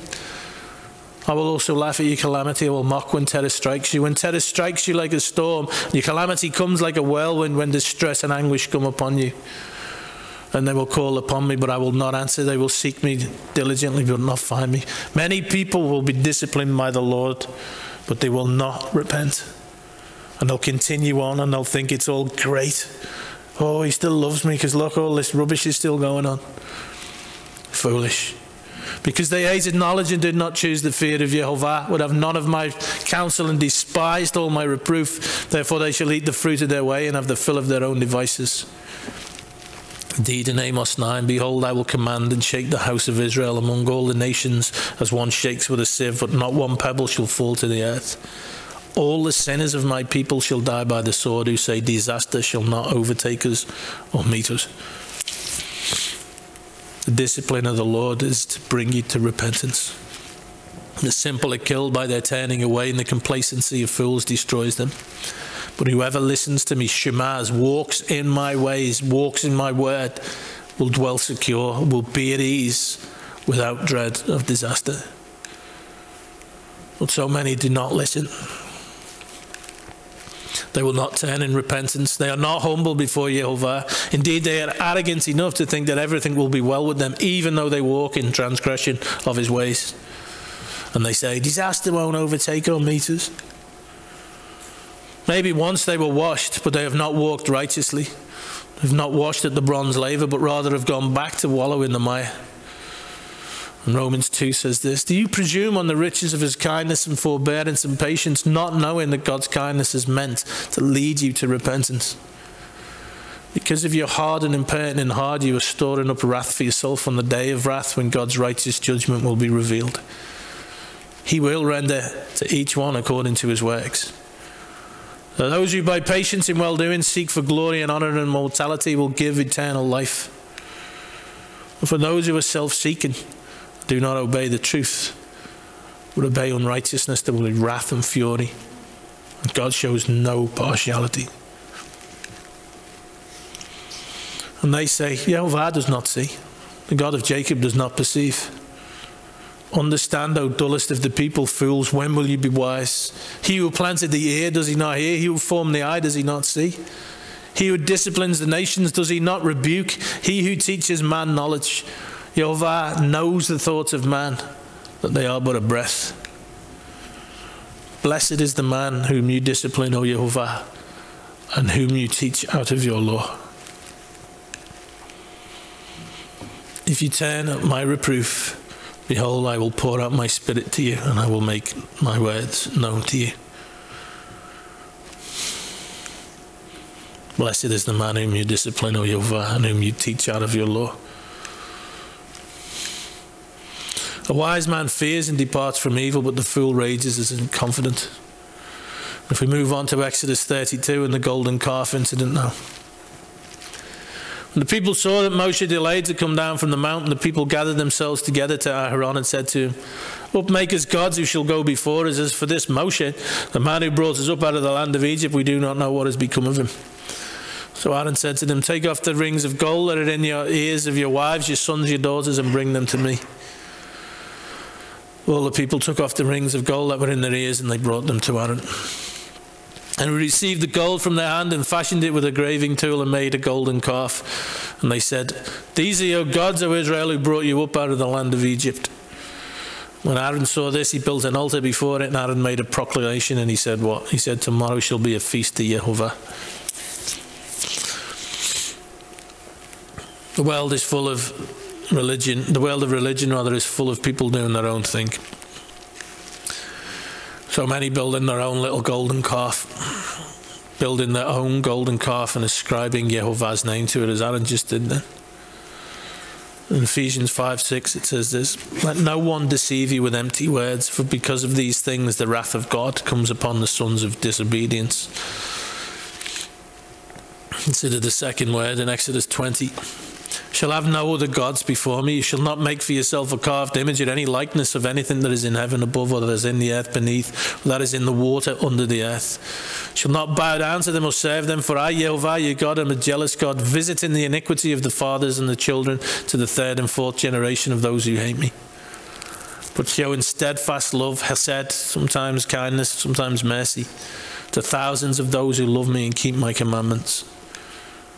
So you shall have no other gods before me. You shall not bow down to them or serve them. Those who do this hate me, says the Lord. And those who love me keep my commandments. And these shall know my steadfast love, my mercy, my hesed. Daniel knew this, which is why he begins his prayer in Daniel 9. And pray to Jehovah, my God, and made confession, saying, O Lord, the great and awesome God who keeps covenant and steadfast love, mercy, chesed, with those who love him and keep his commandments. According to the second word, those who go after false gods hate Jehovah, and those who hate him do not keep his commandments. And this is a quote from Paul Washer. He says this If I preach the classical Christian view of who God is in your church, it won't take long for some of your finest members, especially among the elderly and especially among the women, will walk out of that church with their teeth clenched together and say, My God's not that way. I could never love a God like that. Because the God they've been worshipping is not the God of the Bible, it's a figment of their own imagination. A God they've made with their mind, and they then they worshipped what they had made, and he looks more like Santa Claus than he does Yahweh. And I would not doubt there are people here and you don't like him. You wouldn't like him if you knew him. So, how can you be sure that you haven't fallen into idolatry? 14 times in the concluding chapters of Exodus, the narrative will repeat the following words exactly as Yehovah instructed Moshe who represents the Torah and the Word. This is the exact opposite of fashioning a God for yourself. But there are so many who do not want to do exactly as Jehovah instructed Moshe. They do not want to walk according to the Word. And even when the Lord rebukes them and reproves them, they don't none of it. Thus says Jehovah, stand by the roads and look and ask for the ancient paths where the good way is and walk in it and find rest for your souls. And they said, We will not walk in it. Okay, not interested in having clean feet and walking in paths of righteousness, walking according to the word. We're called to wash our feet, that is, we're called to walk according to the word. They said we will not walk in it.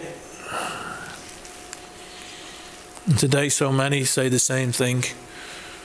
It seems Jehovah's people haven't changed.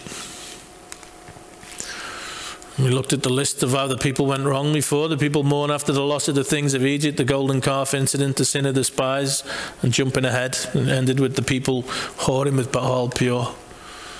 All speaks of idolatry, all speaks of lack of faith, but it all begins with desiring the things of Egypt, which represents wanting to go back to that which they were once in bondage to, namely the world and sin. Speaks of wanting to wallow in the mire rather than wanting to continue on in obedience. For those who do not walk according to the word, for those who do not love the word, which is described as we saw earlier as the truth, Psalm 119. The mystery of lawlessness is already at work, only he who now restrains it will do so until he is out of the way. That's a reference to the Roman Empire. Then the lawless one will be revealed whom the Lord Yeshua will kill with the breath of his mouth and bring to nothing by the appearance of his coming. The coming of the lawless one is by the activity of Satan with all power and false signs and wonders, with all wicked deception for those who are perishing.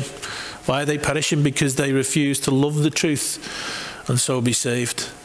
Therefore, God sends them a strong delusion so that they may believe what is false. In order that all may be condemned who did not believe the truth but had pleasure in unrighteousness.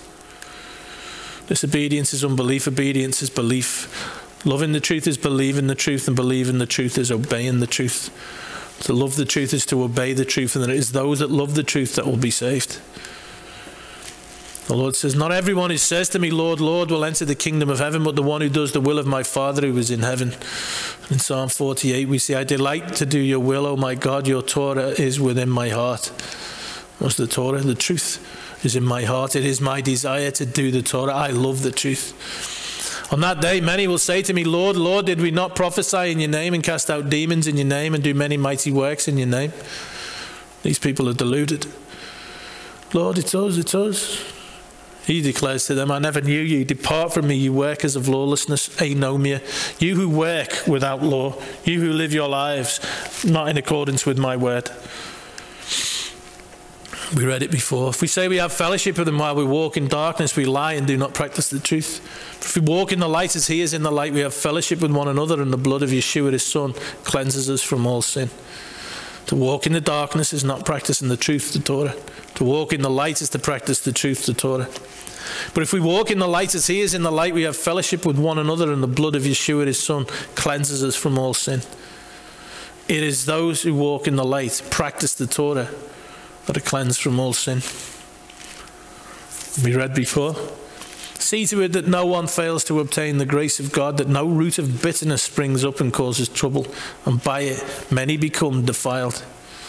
The root of bitterness, wormwood. Wormwood is associated with desire to do away with Jehovah's law, the truth, anomia, and follow one's own heart instead and worship false gods, golden calves, as it were.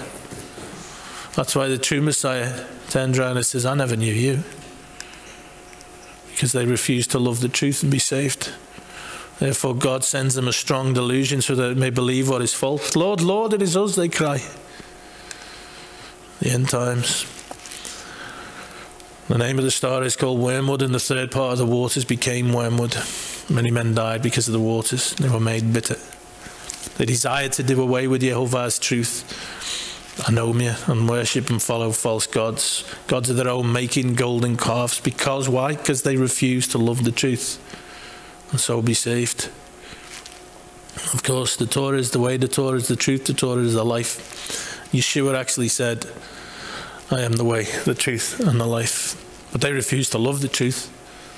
Yeshua was the Word made flesh. Yeshua made the following statement If you will love me, if you love me, you'll keep my commandments.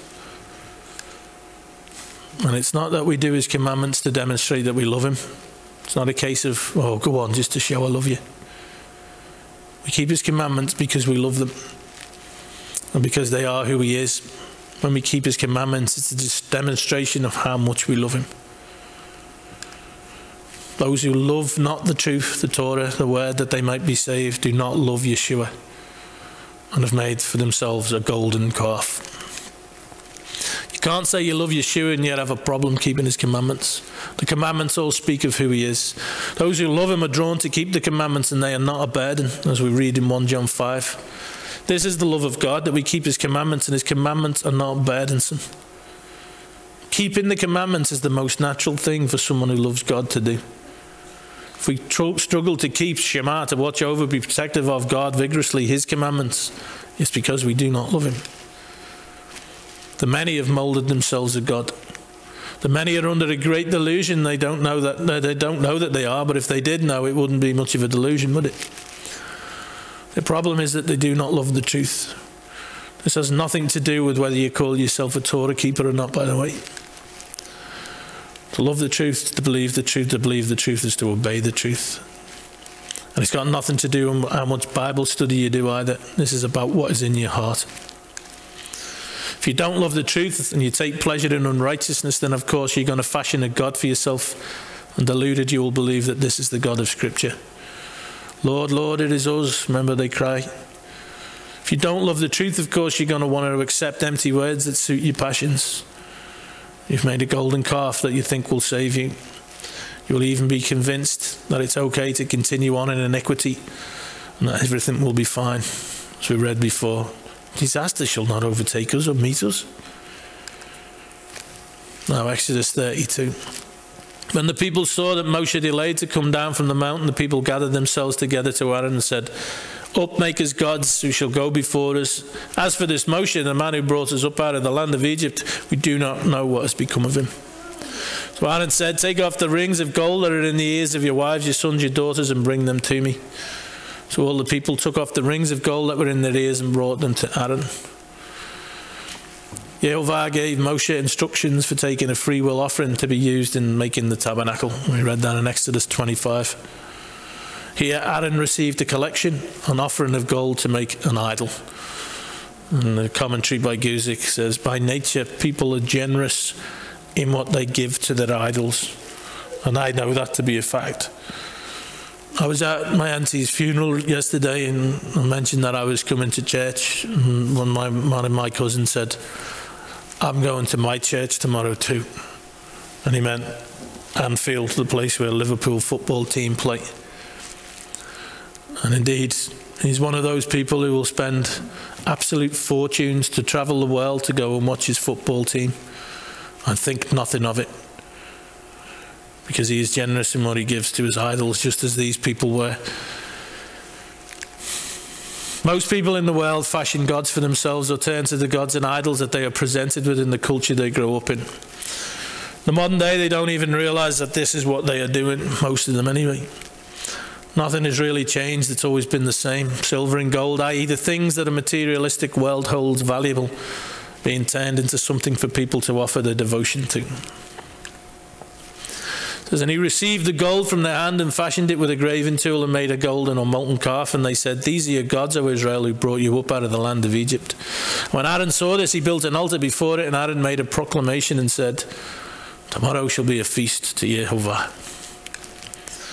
They rose up early on the morrow and offered burnt offerings and brought peace offerings, and the people sat down to eat and to drink, and they rose up to play. Okay. Um, and we're going to go back to this in 1 Corinthians now. These things took place as examples for us that we might not desire evil as they did. So we're reading about this, and these are examples for us. Do not be idolaters as some of them, whereas is written, the people sat down, uh, sat down to eat and drink and rose up to play. So this is this what we're talking about now, is the golden calf incident. And then it says, we must not indulge in sexual immorality as some of them did, and 23,000 fell in a single day. Now, at the beginning of part two, I asked the question. At the end of chapter 32, we read, Then Jehovah sent a plague on the people because they made the calf, the one that Aaron made. And I said, Is it judgment or discipline? This incident mentioned in verse 8 here about the sexual immorality and Baal Peor incident tells us much about the answer to that. It says in this plague, 20, well, says 4,000 died there. The book of Numbers, there are two censuses, one in chapter 1, taken in the second year from the Exodus, and another one in chapter 26, taken 38 years later, just before the Israelites were to enter the land of Canaan. These two censuses reveal that the tribe of Simeon decreased in number significantly, thereby suggesting that the ones that were hit hardest by the plague. And from the account of the incident, which involved the son of the leader from the tribe of Simeon, we can see why this might be the case, especially when we consider what Yehovah says in Deuteronomy 4. He says, Your eyes have seen what Yehovah did at Baal Peor, for Yehovah your God destroyed from among you all the men who followed the Baal of Peor. But you who held fast to Yehovah your God are all alive today. Mm-hmm. Yehovah brings judgment on the Midianites soon after this, who were involved in this incident of dragging the um, the Israelites into idolatry. But as we see here, judgment begins at the house of God. Judgment for those who would go after other gods and encourage Jehovah's people to become idolaters and whores. Remember, Paul spoke of those who encourage Jehovah's people to become idolaters. He said, As I've said before, as we have said before, so now I say again, if anyone is preaching to you a gospel contrary to the one you received, let him be accursed. I believe that after the plague that followed the golden calf incident, the same could be said as is written in Deuteronomy 4. But you who held fast to Jehovah your God are all alive today. And we know that Aharon, who was involved, was only spared due to Moshe's intercession. Now, whereas I may be thankful for the chastisement of a loving Elohim, I do not want to know the wrath of his judgment. And remember, the world of religion is full of people doing their own thing. So many building their own little golden calf, building their own golden calf and ascribing Jehovah's name to it. We read here, let no one deceive you with empty words, but because of these things the wrath of God comes on the sons of disobedience. I do not want to know the wrath of Jehovah. I am grateful for his discipline, for his love. I do not want to incur the wrath of Jehovah. I certainly don't want to do it by going after a false idea of who Jehovah is. The only way I can know that I'm following him and walking with him is if I walk according to his word. Now, these things happened to them as an example, but they were written down for our instruction on whom the end of the ages has come. So don't get confused. If you're living in rebellion to Jehovah and His word, then don't make, don't mistake the curses that come for a seal of approval that He still loves you his reproof should lead to repentance. If you turn, if you repent at my reproof, behold, I will pour out my spirit to you and make my words known to you. A wise man fears and departs from his evil. The fool rages in confidence. Let's look again at the first verse of chapter 32 to see if we can learn anything from it. The people saw that Moshe delayed coming down from the mountain. The people gathered together to Aaron and said to him, Come, make us gods that shall go before us. As for this Moses, the man who brought us up out of the land of Egypt, we do not know what has become of him. And the Hebrew word for delayed is a term that actually implies that Moshe had disappointed them. They had their own ideas of how long he should be up there on the mountain. Remember, Moshe is an idiom for the Torah. And you ask yourself, how many Torah keepers get disappointed by Moshe, get disappointed by the Torah? They need something else. They need to add their own take or find a new focus. It's just not enough, is it? It's like, oh, what's the new thing? What's the new fad? What's the new doctrine? What's this new thing? They end up discontent and bickering and investing themselves in whatever diversion takes their fancy. They bring the gold earrings, as it were. Hey presto, they end up with a golden calf and they ascribe Jehovah's name to it. They're mad keen, they rise up early to play and make a lot of noise and inevitably attract other people who perhaps are also a little bit disappointed in Moshe in the Torah and looking for something new, the next fix. And what they end up with is worthless. You yourself, like living stones, are built up as a spiritual house to be a holy priesthood to offer spiritual sacrifices acceptable to God through Yeshua HaMashiach. So we are supposed to be built up together to bring spiritual sacrifices that are acceptable to Jehovah. What is acceptable to Jehovah is that which is prescribed in His Word. Ask are you disappointed in His Word? The rabble that was among them had a strong craving, and the people of Israel also wept again and said, Oh, that we had meat to eat.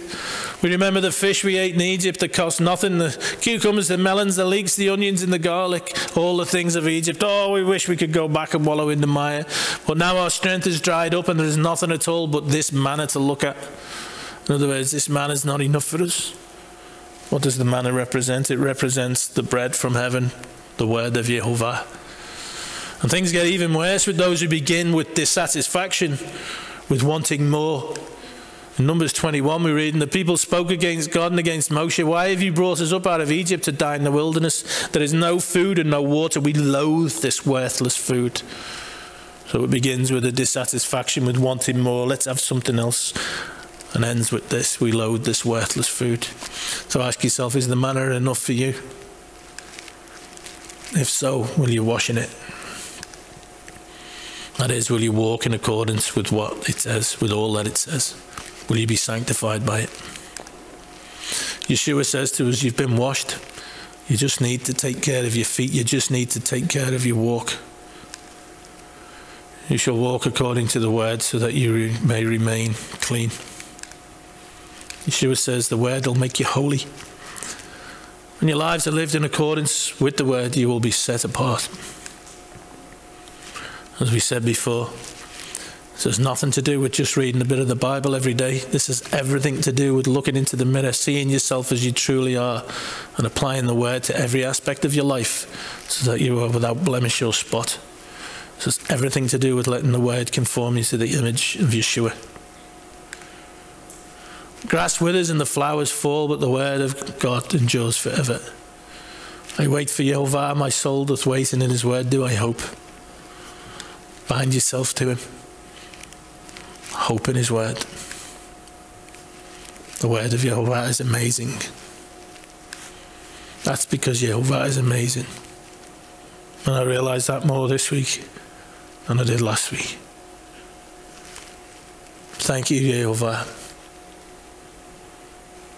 And if He disciplines you, repent and acknowledge you're wrong. I know that it hurts him because he loves you so much. Bless you, Lord. I'll come back in a minute. The Lord said to Moshe, Go down, go, sorry, uh, get thee down, for thy people which thou broughtest out of the land of Egypt have corrupted themselves.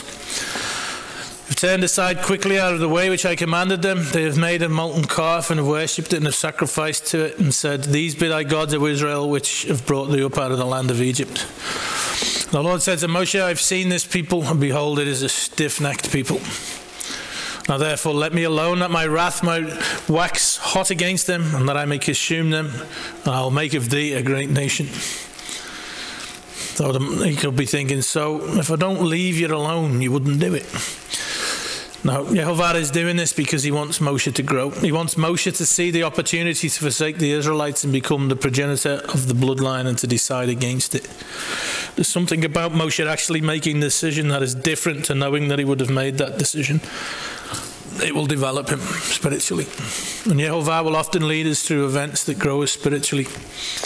And um, we mentioned earlier about things that might come in your life, tests and trials. And we said about the fact that the Lord will always make a way for you. And that's not to say that things will be easy. Things might be difficult in your life. And these tests might be difficult. But Jehovah says there is always a way, and He is with us. And we know all things work for the good of those who love the Lord. He will often do things that will grow us. So I just thought I'd point that out. Moshe besought Jehovah his God, and he said, Lord, why does your wrath wax hot against thy people, which thou hast brought forth out of the land of Egypt with great power and with a mighty hand? So you might think that's a bizarre question, isn't it obvious? But there are two different forms of why. There's an inquiry about the causality of a situation. Why has this happened? What caused it?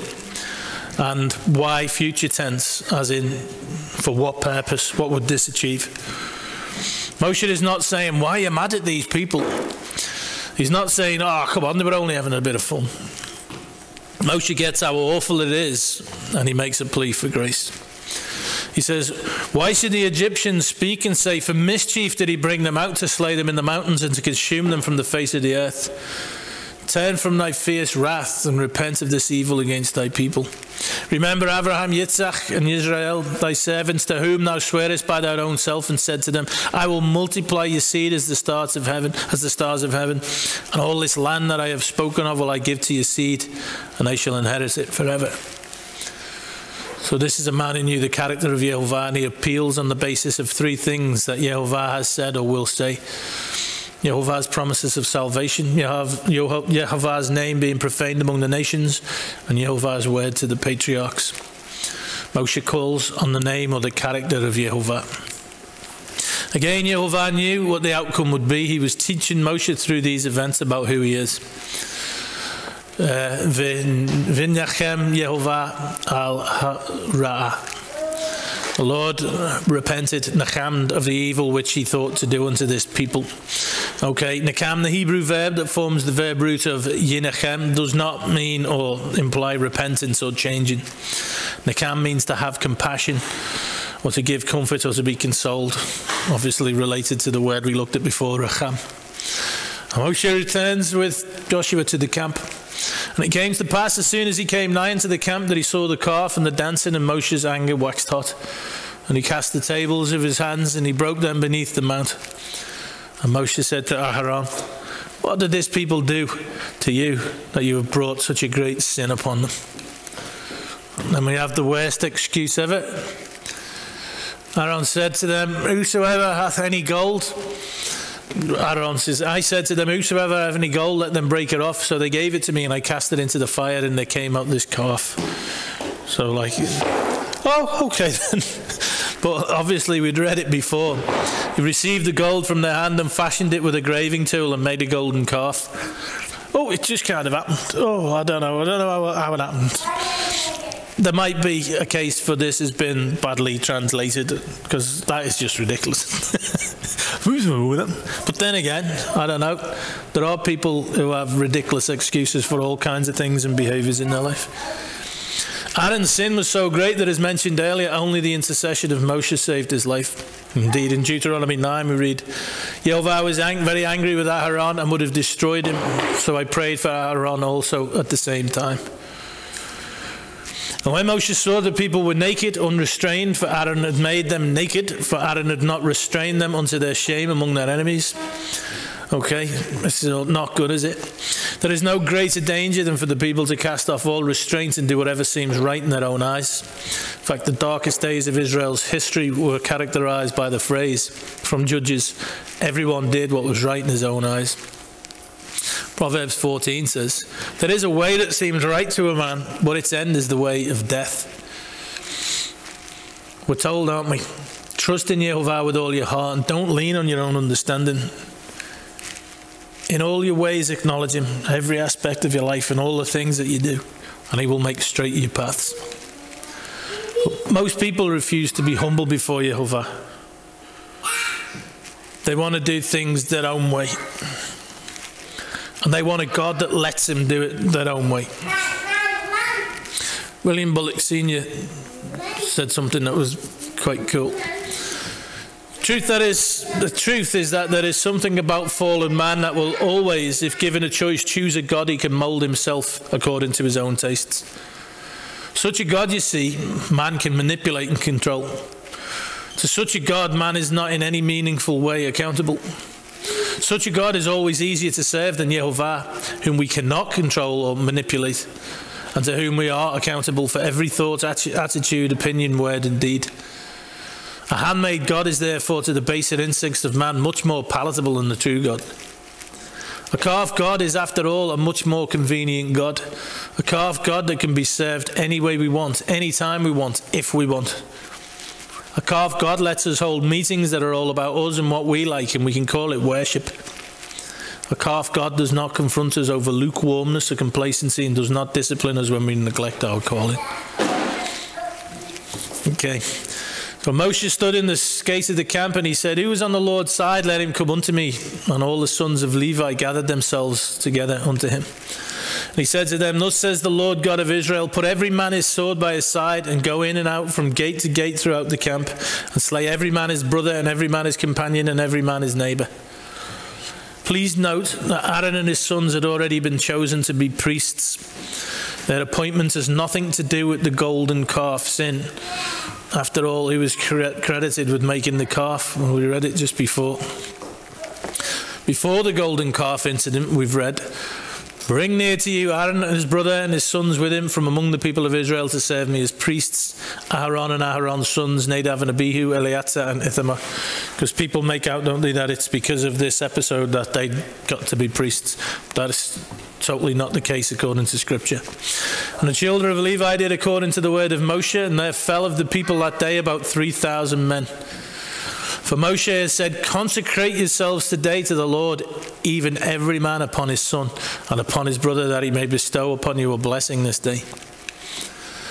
And we'll just have a quick look at this. For Moshe had said, Consecrate, and this is the word in Hebrew, Marley, yourselves to, today to the Lord. Okay, and it's to fill, to be full of. You can see all these ideas of it. Yeah, fullness, abundance, to be full. The word translated consecrate means to fill or to be full. The call here from Moshe is to be fully for Yehovah. This is not to do with being consecrated to be priests. This is just be fully for Yehovah. And it's interesting, isn't it? The 3,000 that fell matched by what we see at Shavuot in the first century. With many other words, he bore witness and continued to exhort them, saying, Save yourselves from this crooked generation. So those who received his word were baptized, and there were added that day about 3,000 souls. That's really significant, isn't it? Because what these people have done with regards to the golden calf is basically idolatry. And what we have happening at Shavuot is the bringing back of the house of Israel, who had been divorced, who'd been sent away out of covenant because of what? Because of idolatry.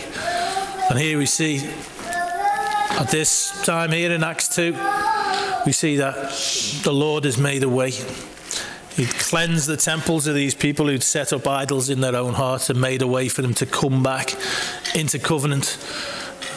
Matched in the 3,000 that fell at this incident of the golden calf with what happened at Pentecost, Shavuot in Acts 2. It came to pass on the morrow that Moshe said unto the people, You have sinned a great sin, and now I will go up unto the Lord. Peradventure I shall make an atonement for your sin. And Moshe returned to the Lord and said, Oh, this people have sinned a great sin, have made them God, God, gods of gold. Yet now, if thou wilt forgive their sin and not blot me, I pray thee, and if not, blot me, I pray thee, out of thy book which thou hast written. Okay, so an incredible prayer. If you won't forgive them, blot me out of your book. Revelation 20. I saw the dead, the great and the small, standing before the throne, and books were opened. Then another book was opened, which is the book of life. And the dead were judged by what was written in the books according to what they had done. And if anyone's name was not found written in the book of life, he was thrown into the lake of fire. So, not a good thing to be blotted out of the book. But the Lord said to Moshe, Whoever had sinned against me, him I will blot out of my book. In Revelation, we read this Yet you still have a few names in Sardis, people who have not soiled their garments, and they walk with me in white, for they are worthy. The one who conquers will be clothed thus in white garments, and I will never blot his name out of the book of life. I will confess his name before my Father and before his angels. So, if we want to be considered worthy and not have our names blotted out of the book of life, then we must keep our garments clean and not sin against Jehovah.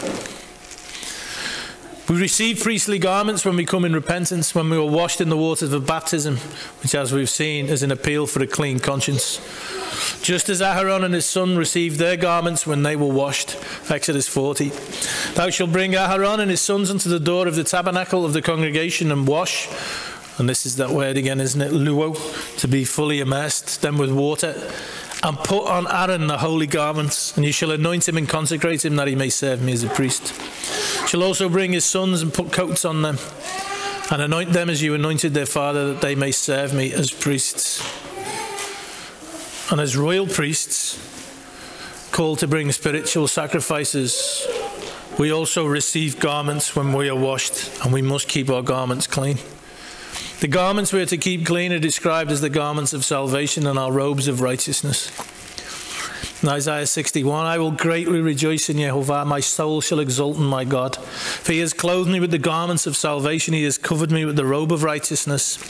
As a bridegroom decks himself like a priest with a beautiful headdress, as a bride adorns herself with her jewels. We read in Jude, Others save with fear, pulling them out of the fire, hating even the garment spotted by what? By the flesh.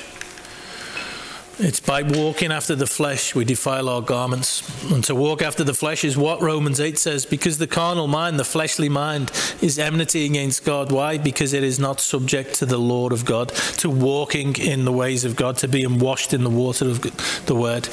Neither indeed can be. So then, they that are in the flesh cannot please God. Not walking in accordance with the word, not submitting to the law, the truth of Jehovah causes us to be defiled. How do we stay clean? By doing righteousness. That is by walking according to the word. We read it before. That he, Yeshua, might sanctify and cleanse it, the church, with the washing of water by the word. Sanctify them in the truth. Your word is truth. So let us be glad and rejoice and give honour to him, for the marriage of the Lamb is come, and his wife has made herself ready. And to her was granted that she should be arrayed in fine linen, clean and white, for the fine linen is the righteousness of the saints. What is righteousness? It is walking in Jehovah's ways. Let thy priests be clothed with righteousness, and let thy saints shout for joy. If we continue to sin, all we do is defile ourselves the same message all the way through Scripture. It takes us right back to where we started today. When they go into the tent of meeting, or when they come near the altar to minister to burn a food offering to Jehovah, they shall wash with water so that they may not die. They shall wash their hands and their feet so they may not die. It shall be a statute forever to them, even to him and to his offspring throughout their generations. The bronze laver speaks to us of being washed in the water of the word. Because why? Because we're to be found without blemish or spot. There you go. Washed by the water of the word, to be found without spot or wrinkle, to be holy and without blemish. Simon Peter said to him, Lord, not my feet only, but my hands and my head. Yeshua said, He that is washed, luo, like those priests who were washed, and then they were put on their garments. Need not to save to wash his feet, but is clean every whit, and you are all clean, but not all. There it is. The whole full immersion that we see that the priests go through. But we wash our feet. We wash in the water of the word. The Lord said to him, Whoever has sinned against me, him I will blot out of my book. Whoever has defiled themselves. Therefore, now go lead the people unto the place of which I have spoken unto thee. Behold, mine angel shall go before thee. Nevertheless, in the day when I visit, I will visit their sin upon them. The Lord plagued the people because they made the calf which Aaron made. The Lord said to Moshe, Depart and go up hence, thou and the people which thou hast brought up out of the land of Egypt unto the land which I swear to Abraham, Yitzhak, and Yaakov, saying, Unto thy seed will I give it. And I will send an angel before thee, and I'll drive out the Canaanite, the Amorite, the Hittite, the Perizzites, the Hivites, and the Jebusite, Jebusites, to a land flowing with milk and honey. For I will not go up in the midst of thee, for thou art a stiff necked people, lest I consume thee in the way. When the people heard these evil tidings, they mourned, and no man did put on his ornaments. For the Lord had said to Moshe, Say to the children of Israel, You are a stiff necked people. I will come up into the midst of thee in a moment and consume thee. Therefore, now put off thy ornaments from thee, that I may know what to do to thee.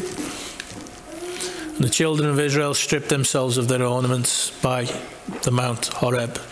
Jehovah speaks words of discipline to them, and what do they do? They take off their garment, these, these ornaments. They repent. We have repentance, what we refer to as teshuva, from shuv to turn. Acts 26. Therefore, O King Agrippa, I was not disobedient to the heavenly vision, but declared first to those in Damascus, then in Jerusalem, and throughout all the region of Judea, and also to the Gentiles, that they should repent and turn to God. Please note what it says then performing deeds in keeping with their repentance. This is not about what you say, it's actually about what you do. Repent and turn to God, performing deeds in keeping with their repentance. Repentance doesn't mean anything if you keep doing what you say you're sorry for. Modern Christian repentance is just about saying sorry. It is not to teshuva. I know this because I used to go to Christian churches. And Matthew 3 8, the words from John the Baptist bear fruit in keeping with repentance. And I'm excited to say that next week JP is going to be talking all about fruit and the fruit of the Spirit. Um, it should be a good teaching, so I, would um, encourage you to make an effort to, to see it. Most of what passes as repentance has nothing to do with Yehovah. The modern Western world concept of repentance has little to do with dying to self and turning to Yehovah to walk in his ways. It is more to do with making the fit person feel better by relieving his or her feelings of guilt. I've seen great outpourings, oh, I'm so sorry, and loads of tears and all this, and big demonstrations only to know that the person has continued in exactly the same way that they always did. True repentance or teshuva is sometimes far beyond, is something rather far beyond and much deeper than sorry. It is unconditionally surrendered into Jehovah. And an essential final step of it, therefore, is actually facing the exact same temptation to which you yielded before, and this time making a different decision, the covenant consistent decision by stripping themselves of the gold, uh, golden rings and jewelry their neighbours had so recently used to make unto themselves a golden calf. The remnant returned precisely to the place where they had sinned in stripping off their gold in order to make a god. And Moshe intercedes for the people and makes a request. Moshe said, Please show me your glory. And he said, I will make all my goodness pass before you and will proclaim before you my name. Jehovah. And I will be gracious to whom I will be gracious, and will show mercy on whom I will show mercy. We'll have a look at that in a minute, because it's not arbitrary. But he said, You cannot see my face, for man that shall not see me and live. And what he's talking about there is this I prayed to Jehovah my God and made confession, saying, O Lord, the great and awesome God. He says, I will have mercy with whom I will have mercy. He shows mercy to those who love him and keep his commandments. And Jehovah said, Behold, there is a place by me where you shall stand on the rock. And while my glory, passes by, I will put you in the cleft of the rock, and I will cover you with my hand until I have passed by. Then I will take away my hand, and you shall see my back, but my face shall not be seen. You shall see my back, Akawa or Achev hereafter from the, it refers to the heel of a foot. And the use here in the Torah is an idiom or a figurative way of saying on the heels of, which is an English idiom for following or as a result of the consequence or the reward. Moshe wants to see Yehovah's glory and he gets to see his back parts. And the word speaks of that which is to come as a result of. So Moshe gets to see the glory of Yehovah that will come on the heels of. And he says to him, doesn't he? He says, You shall stand on the rock. Moshe stands on the rock and sees the glory of Yehovah. What is the rock? Paul tells us the rock was Messiah in 1 Corinthians 10:4. How can we stand upon the rock? Yeshua tells us exactly how to stand on the rock. By shemaring, listening to asaring, building our lives as, with it, the Torah that he taught us. In fact, in Matthew 7, we can read it. Everyone who hears these words of mine and does them will be like a wise man who built his house on the rock. Rain fell and the floods came and the winds blew and beat on the house, but it did not fall because it had been founded on the rock. And Yehovah said to Moshe, Cut for yourself two tablets of stone like the first, and I will write on the tablets the words that were on the first tablets which you broke. Be ready by the morning and come up in the morning to the Mount Sinai and present yourself there to me on the top of the mountain. No one shall come up with you, and let no one be seen throughout all the mountain. Let no flocks or herds graze opposite that mountain. so Moshe cut two tablets of stone like the first, and he rose early in the morning and he went up on Mount Sinai. as Jehovah had commanded him, and he took in his hand two tablets of stone. We've looked in the past at the word for stone, eben, where it's an aleph, which is representative of the leader, Jehovah, followed by ben, which means son. Two tablets of stone, the son of the Father. And Moshe had made haste and bowed his head towards the earth, and he worshipped. And he said, If now I have found grace in thy sight, O Lord, let my Lord, I pray thee, go among us, for it is a stiff necked people, and pardon our iniquity and sin, and take, take us for thine inheritance. And the Lord descended in the cloud and stood with him there and proclaimed the name of the Lord. The Hebraic thought one, the Shem name, is much, much more than the name or title by which one is called. To the Hebrew mind, Shem is a description of the very essence of a person. The Lord passed before him and proclaimed, The Lord, the Lord God, merciful and gracious, long suffering and abundant in goodness and truth. Keeping mercy for thousands, forgiving iniquity and transgression and sin and that will by no means clear the guilty, because he is just and righteous, visiting the iniquity of the fathers upon the children upon the children's children unto the third and fourth generation. Jehovah, though he wants us to know him as merciful and gracious and slow to anger, he wants us to know him as forgiving and faithful and just and careful to give opportunity for teshuvah. By no means pardons the guilty, though those who refuse to listen. But will you listen? If you've strayed, then turn and run to Him. Submit to Him. True repentance, not lip service. If you've been going the wrong way, then turn and He will welcome you. Come to Yehovah in true repentance and know how merciful He is. Know His chesed, that's the Hebrew word translated as mercy and kindness. Be washed, be fully immersed, ready for your priestly garments, your robes of righteousness, ready to minister and to draw near to Yehovah. And if your repentance is true and you have turned from all the wrong, then you will walk in the word. Your feet will be clean. You will visit the bronze laver. You will wash in the water of the word, and you will be counted as his. And wouldn't it be good to hear these words? His master said to him, Well done, good and faithful servant. You've been faithful over a little, I will set you over much. Enter into the joy of your master. I can't even begin to imagine. In fact, this verse comes to mind. As it is written, what no eye has seen, nor ear heard, nor the heart of man imagined, what God has prepared for those who love him. The psalmist says, You make known to me the path of life. In your presence there is fullness of joy. At your right hand, the pleasures forevermore. For those who've been washed, the call is to continually cleanse by being washed in the water of the word. That is not the message of mainstream Christianity, which says Christ did it all, nothing required of you. Don't worry if you want to go back to the mire, if you want to continue on in sin. At the end of Parsha Ki Tisa, we see a call not to follow after other gods. That includes following after Messiah, who doesn't call you to be spotless and holy says, Take care lest you make a covenant with the inhabitants of the land to which you go, lest it become a snare in your midst.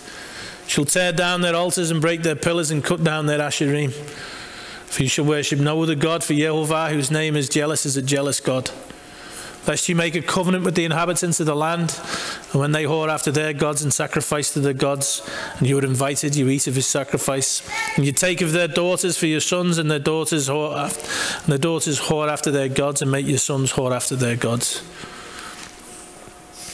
We've looked at this before that the Jesus of mainstream Christianity is another God, the golden calf. We're not to go after him. He lets you indulge your flesh, which defiles your garments, and he tells you it's okay. He's taken great chunks of Jehovah's word and thrown it out and made it obsolete. He's happy to incorporate pagan practices of worship. Deuteronomy 6 says, It is Jehovah, your God, you shall fear. Him you shall serve, and by his name you shall swear. You shall not go after other gods, the gods of the peoples who are around you. Deuteronomy 13, you shall walk after Jehovah your God and fear him and keep his commandments and obey his voice, and you shall serve him and you shall cling to him.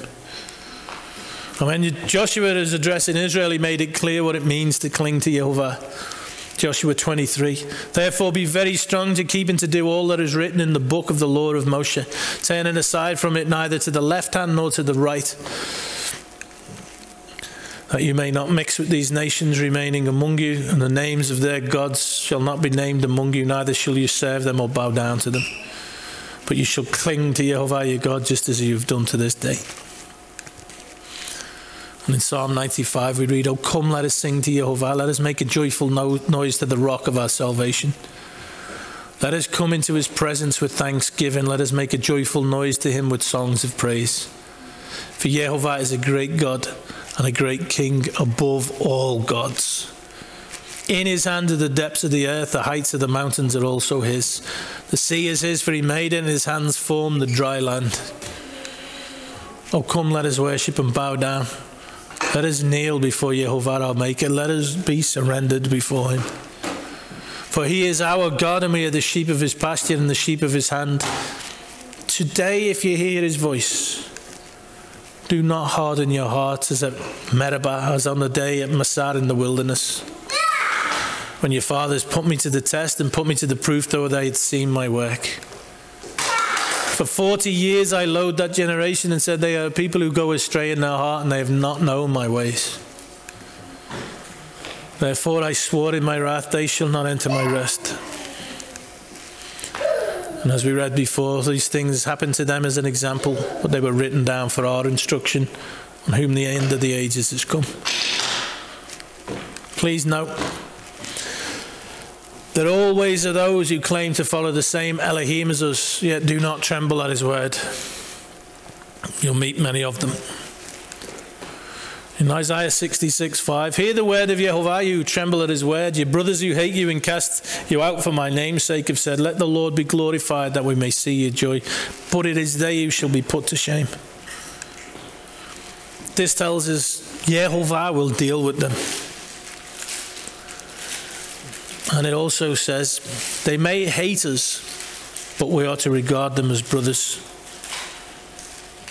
This is not about having an excuse to look down your noses.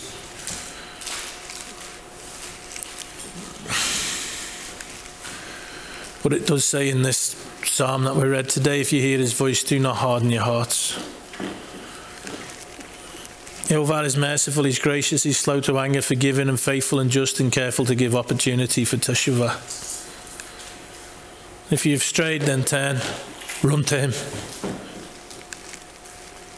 Because in returning and rest you should be saved, in quietness and in trust, which is related to the same word security, safety, that will be your strength. All these things that the world craves after but can't find.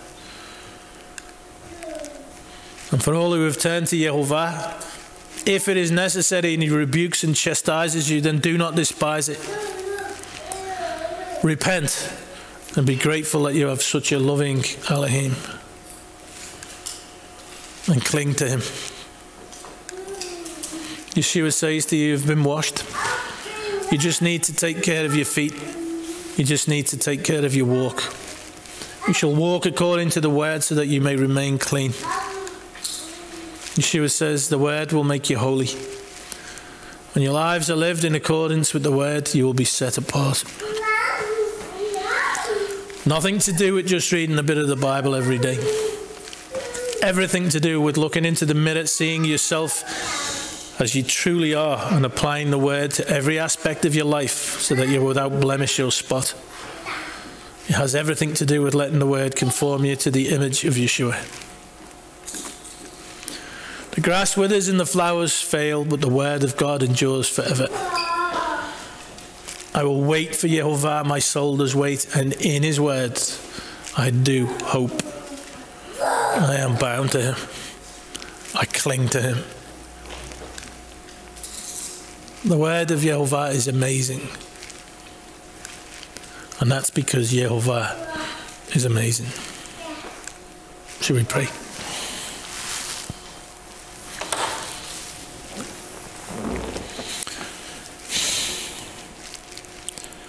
Heavenly Father, I pray for all people who might hear this who have not turned to you. I pray, Lord, that they would. I pray that you would speak to them through your word. I pray, Lord, that all people through your word would see themselves just as they are. And that they would desire to be clean. I pray for all the people, Lord, who are living in sin, that they would understand what it does to you and how much it hurts you. People who have sin in their lives and are refusing to hearken to your discipline, to your words. And Lord, I thank you for the way in which you love us. Lord, and I can hear in your words so much clearer now your desire to want good for your people. How much it hurts you, so I ask you, Heavenly Father, for forgiveness for all the hurt that we've caused you. Lord, truly you are amazing. There is not one thing about you that is not perfect.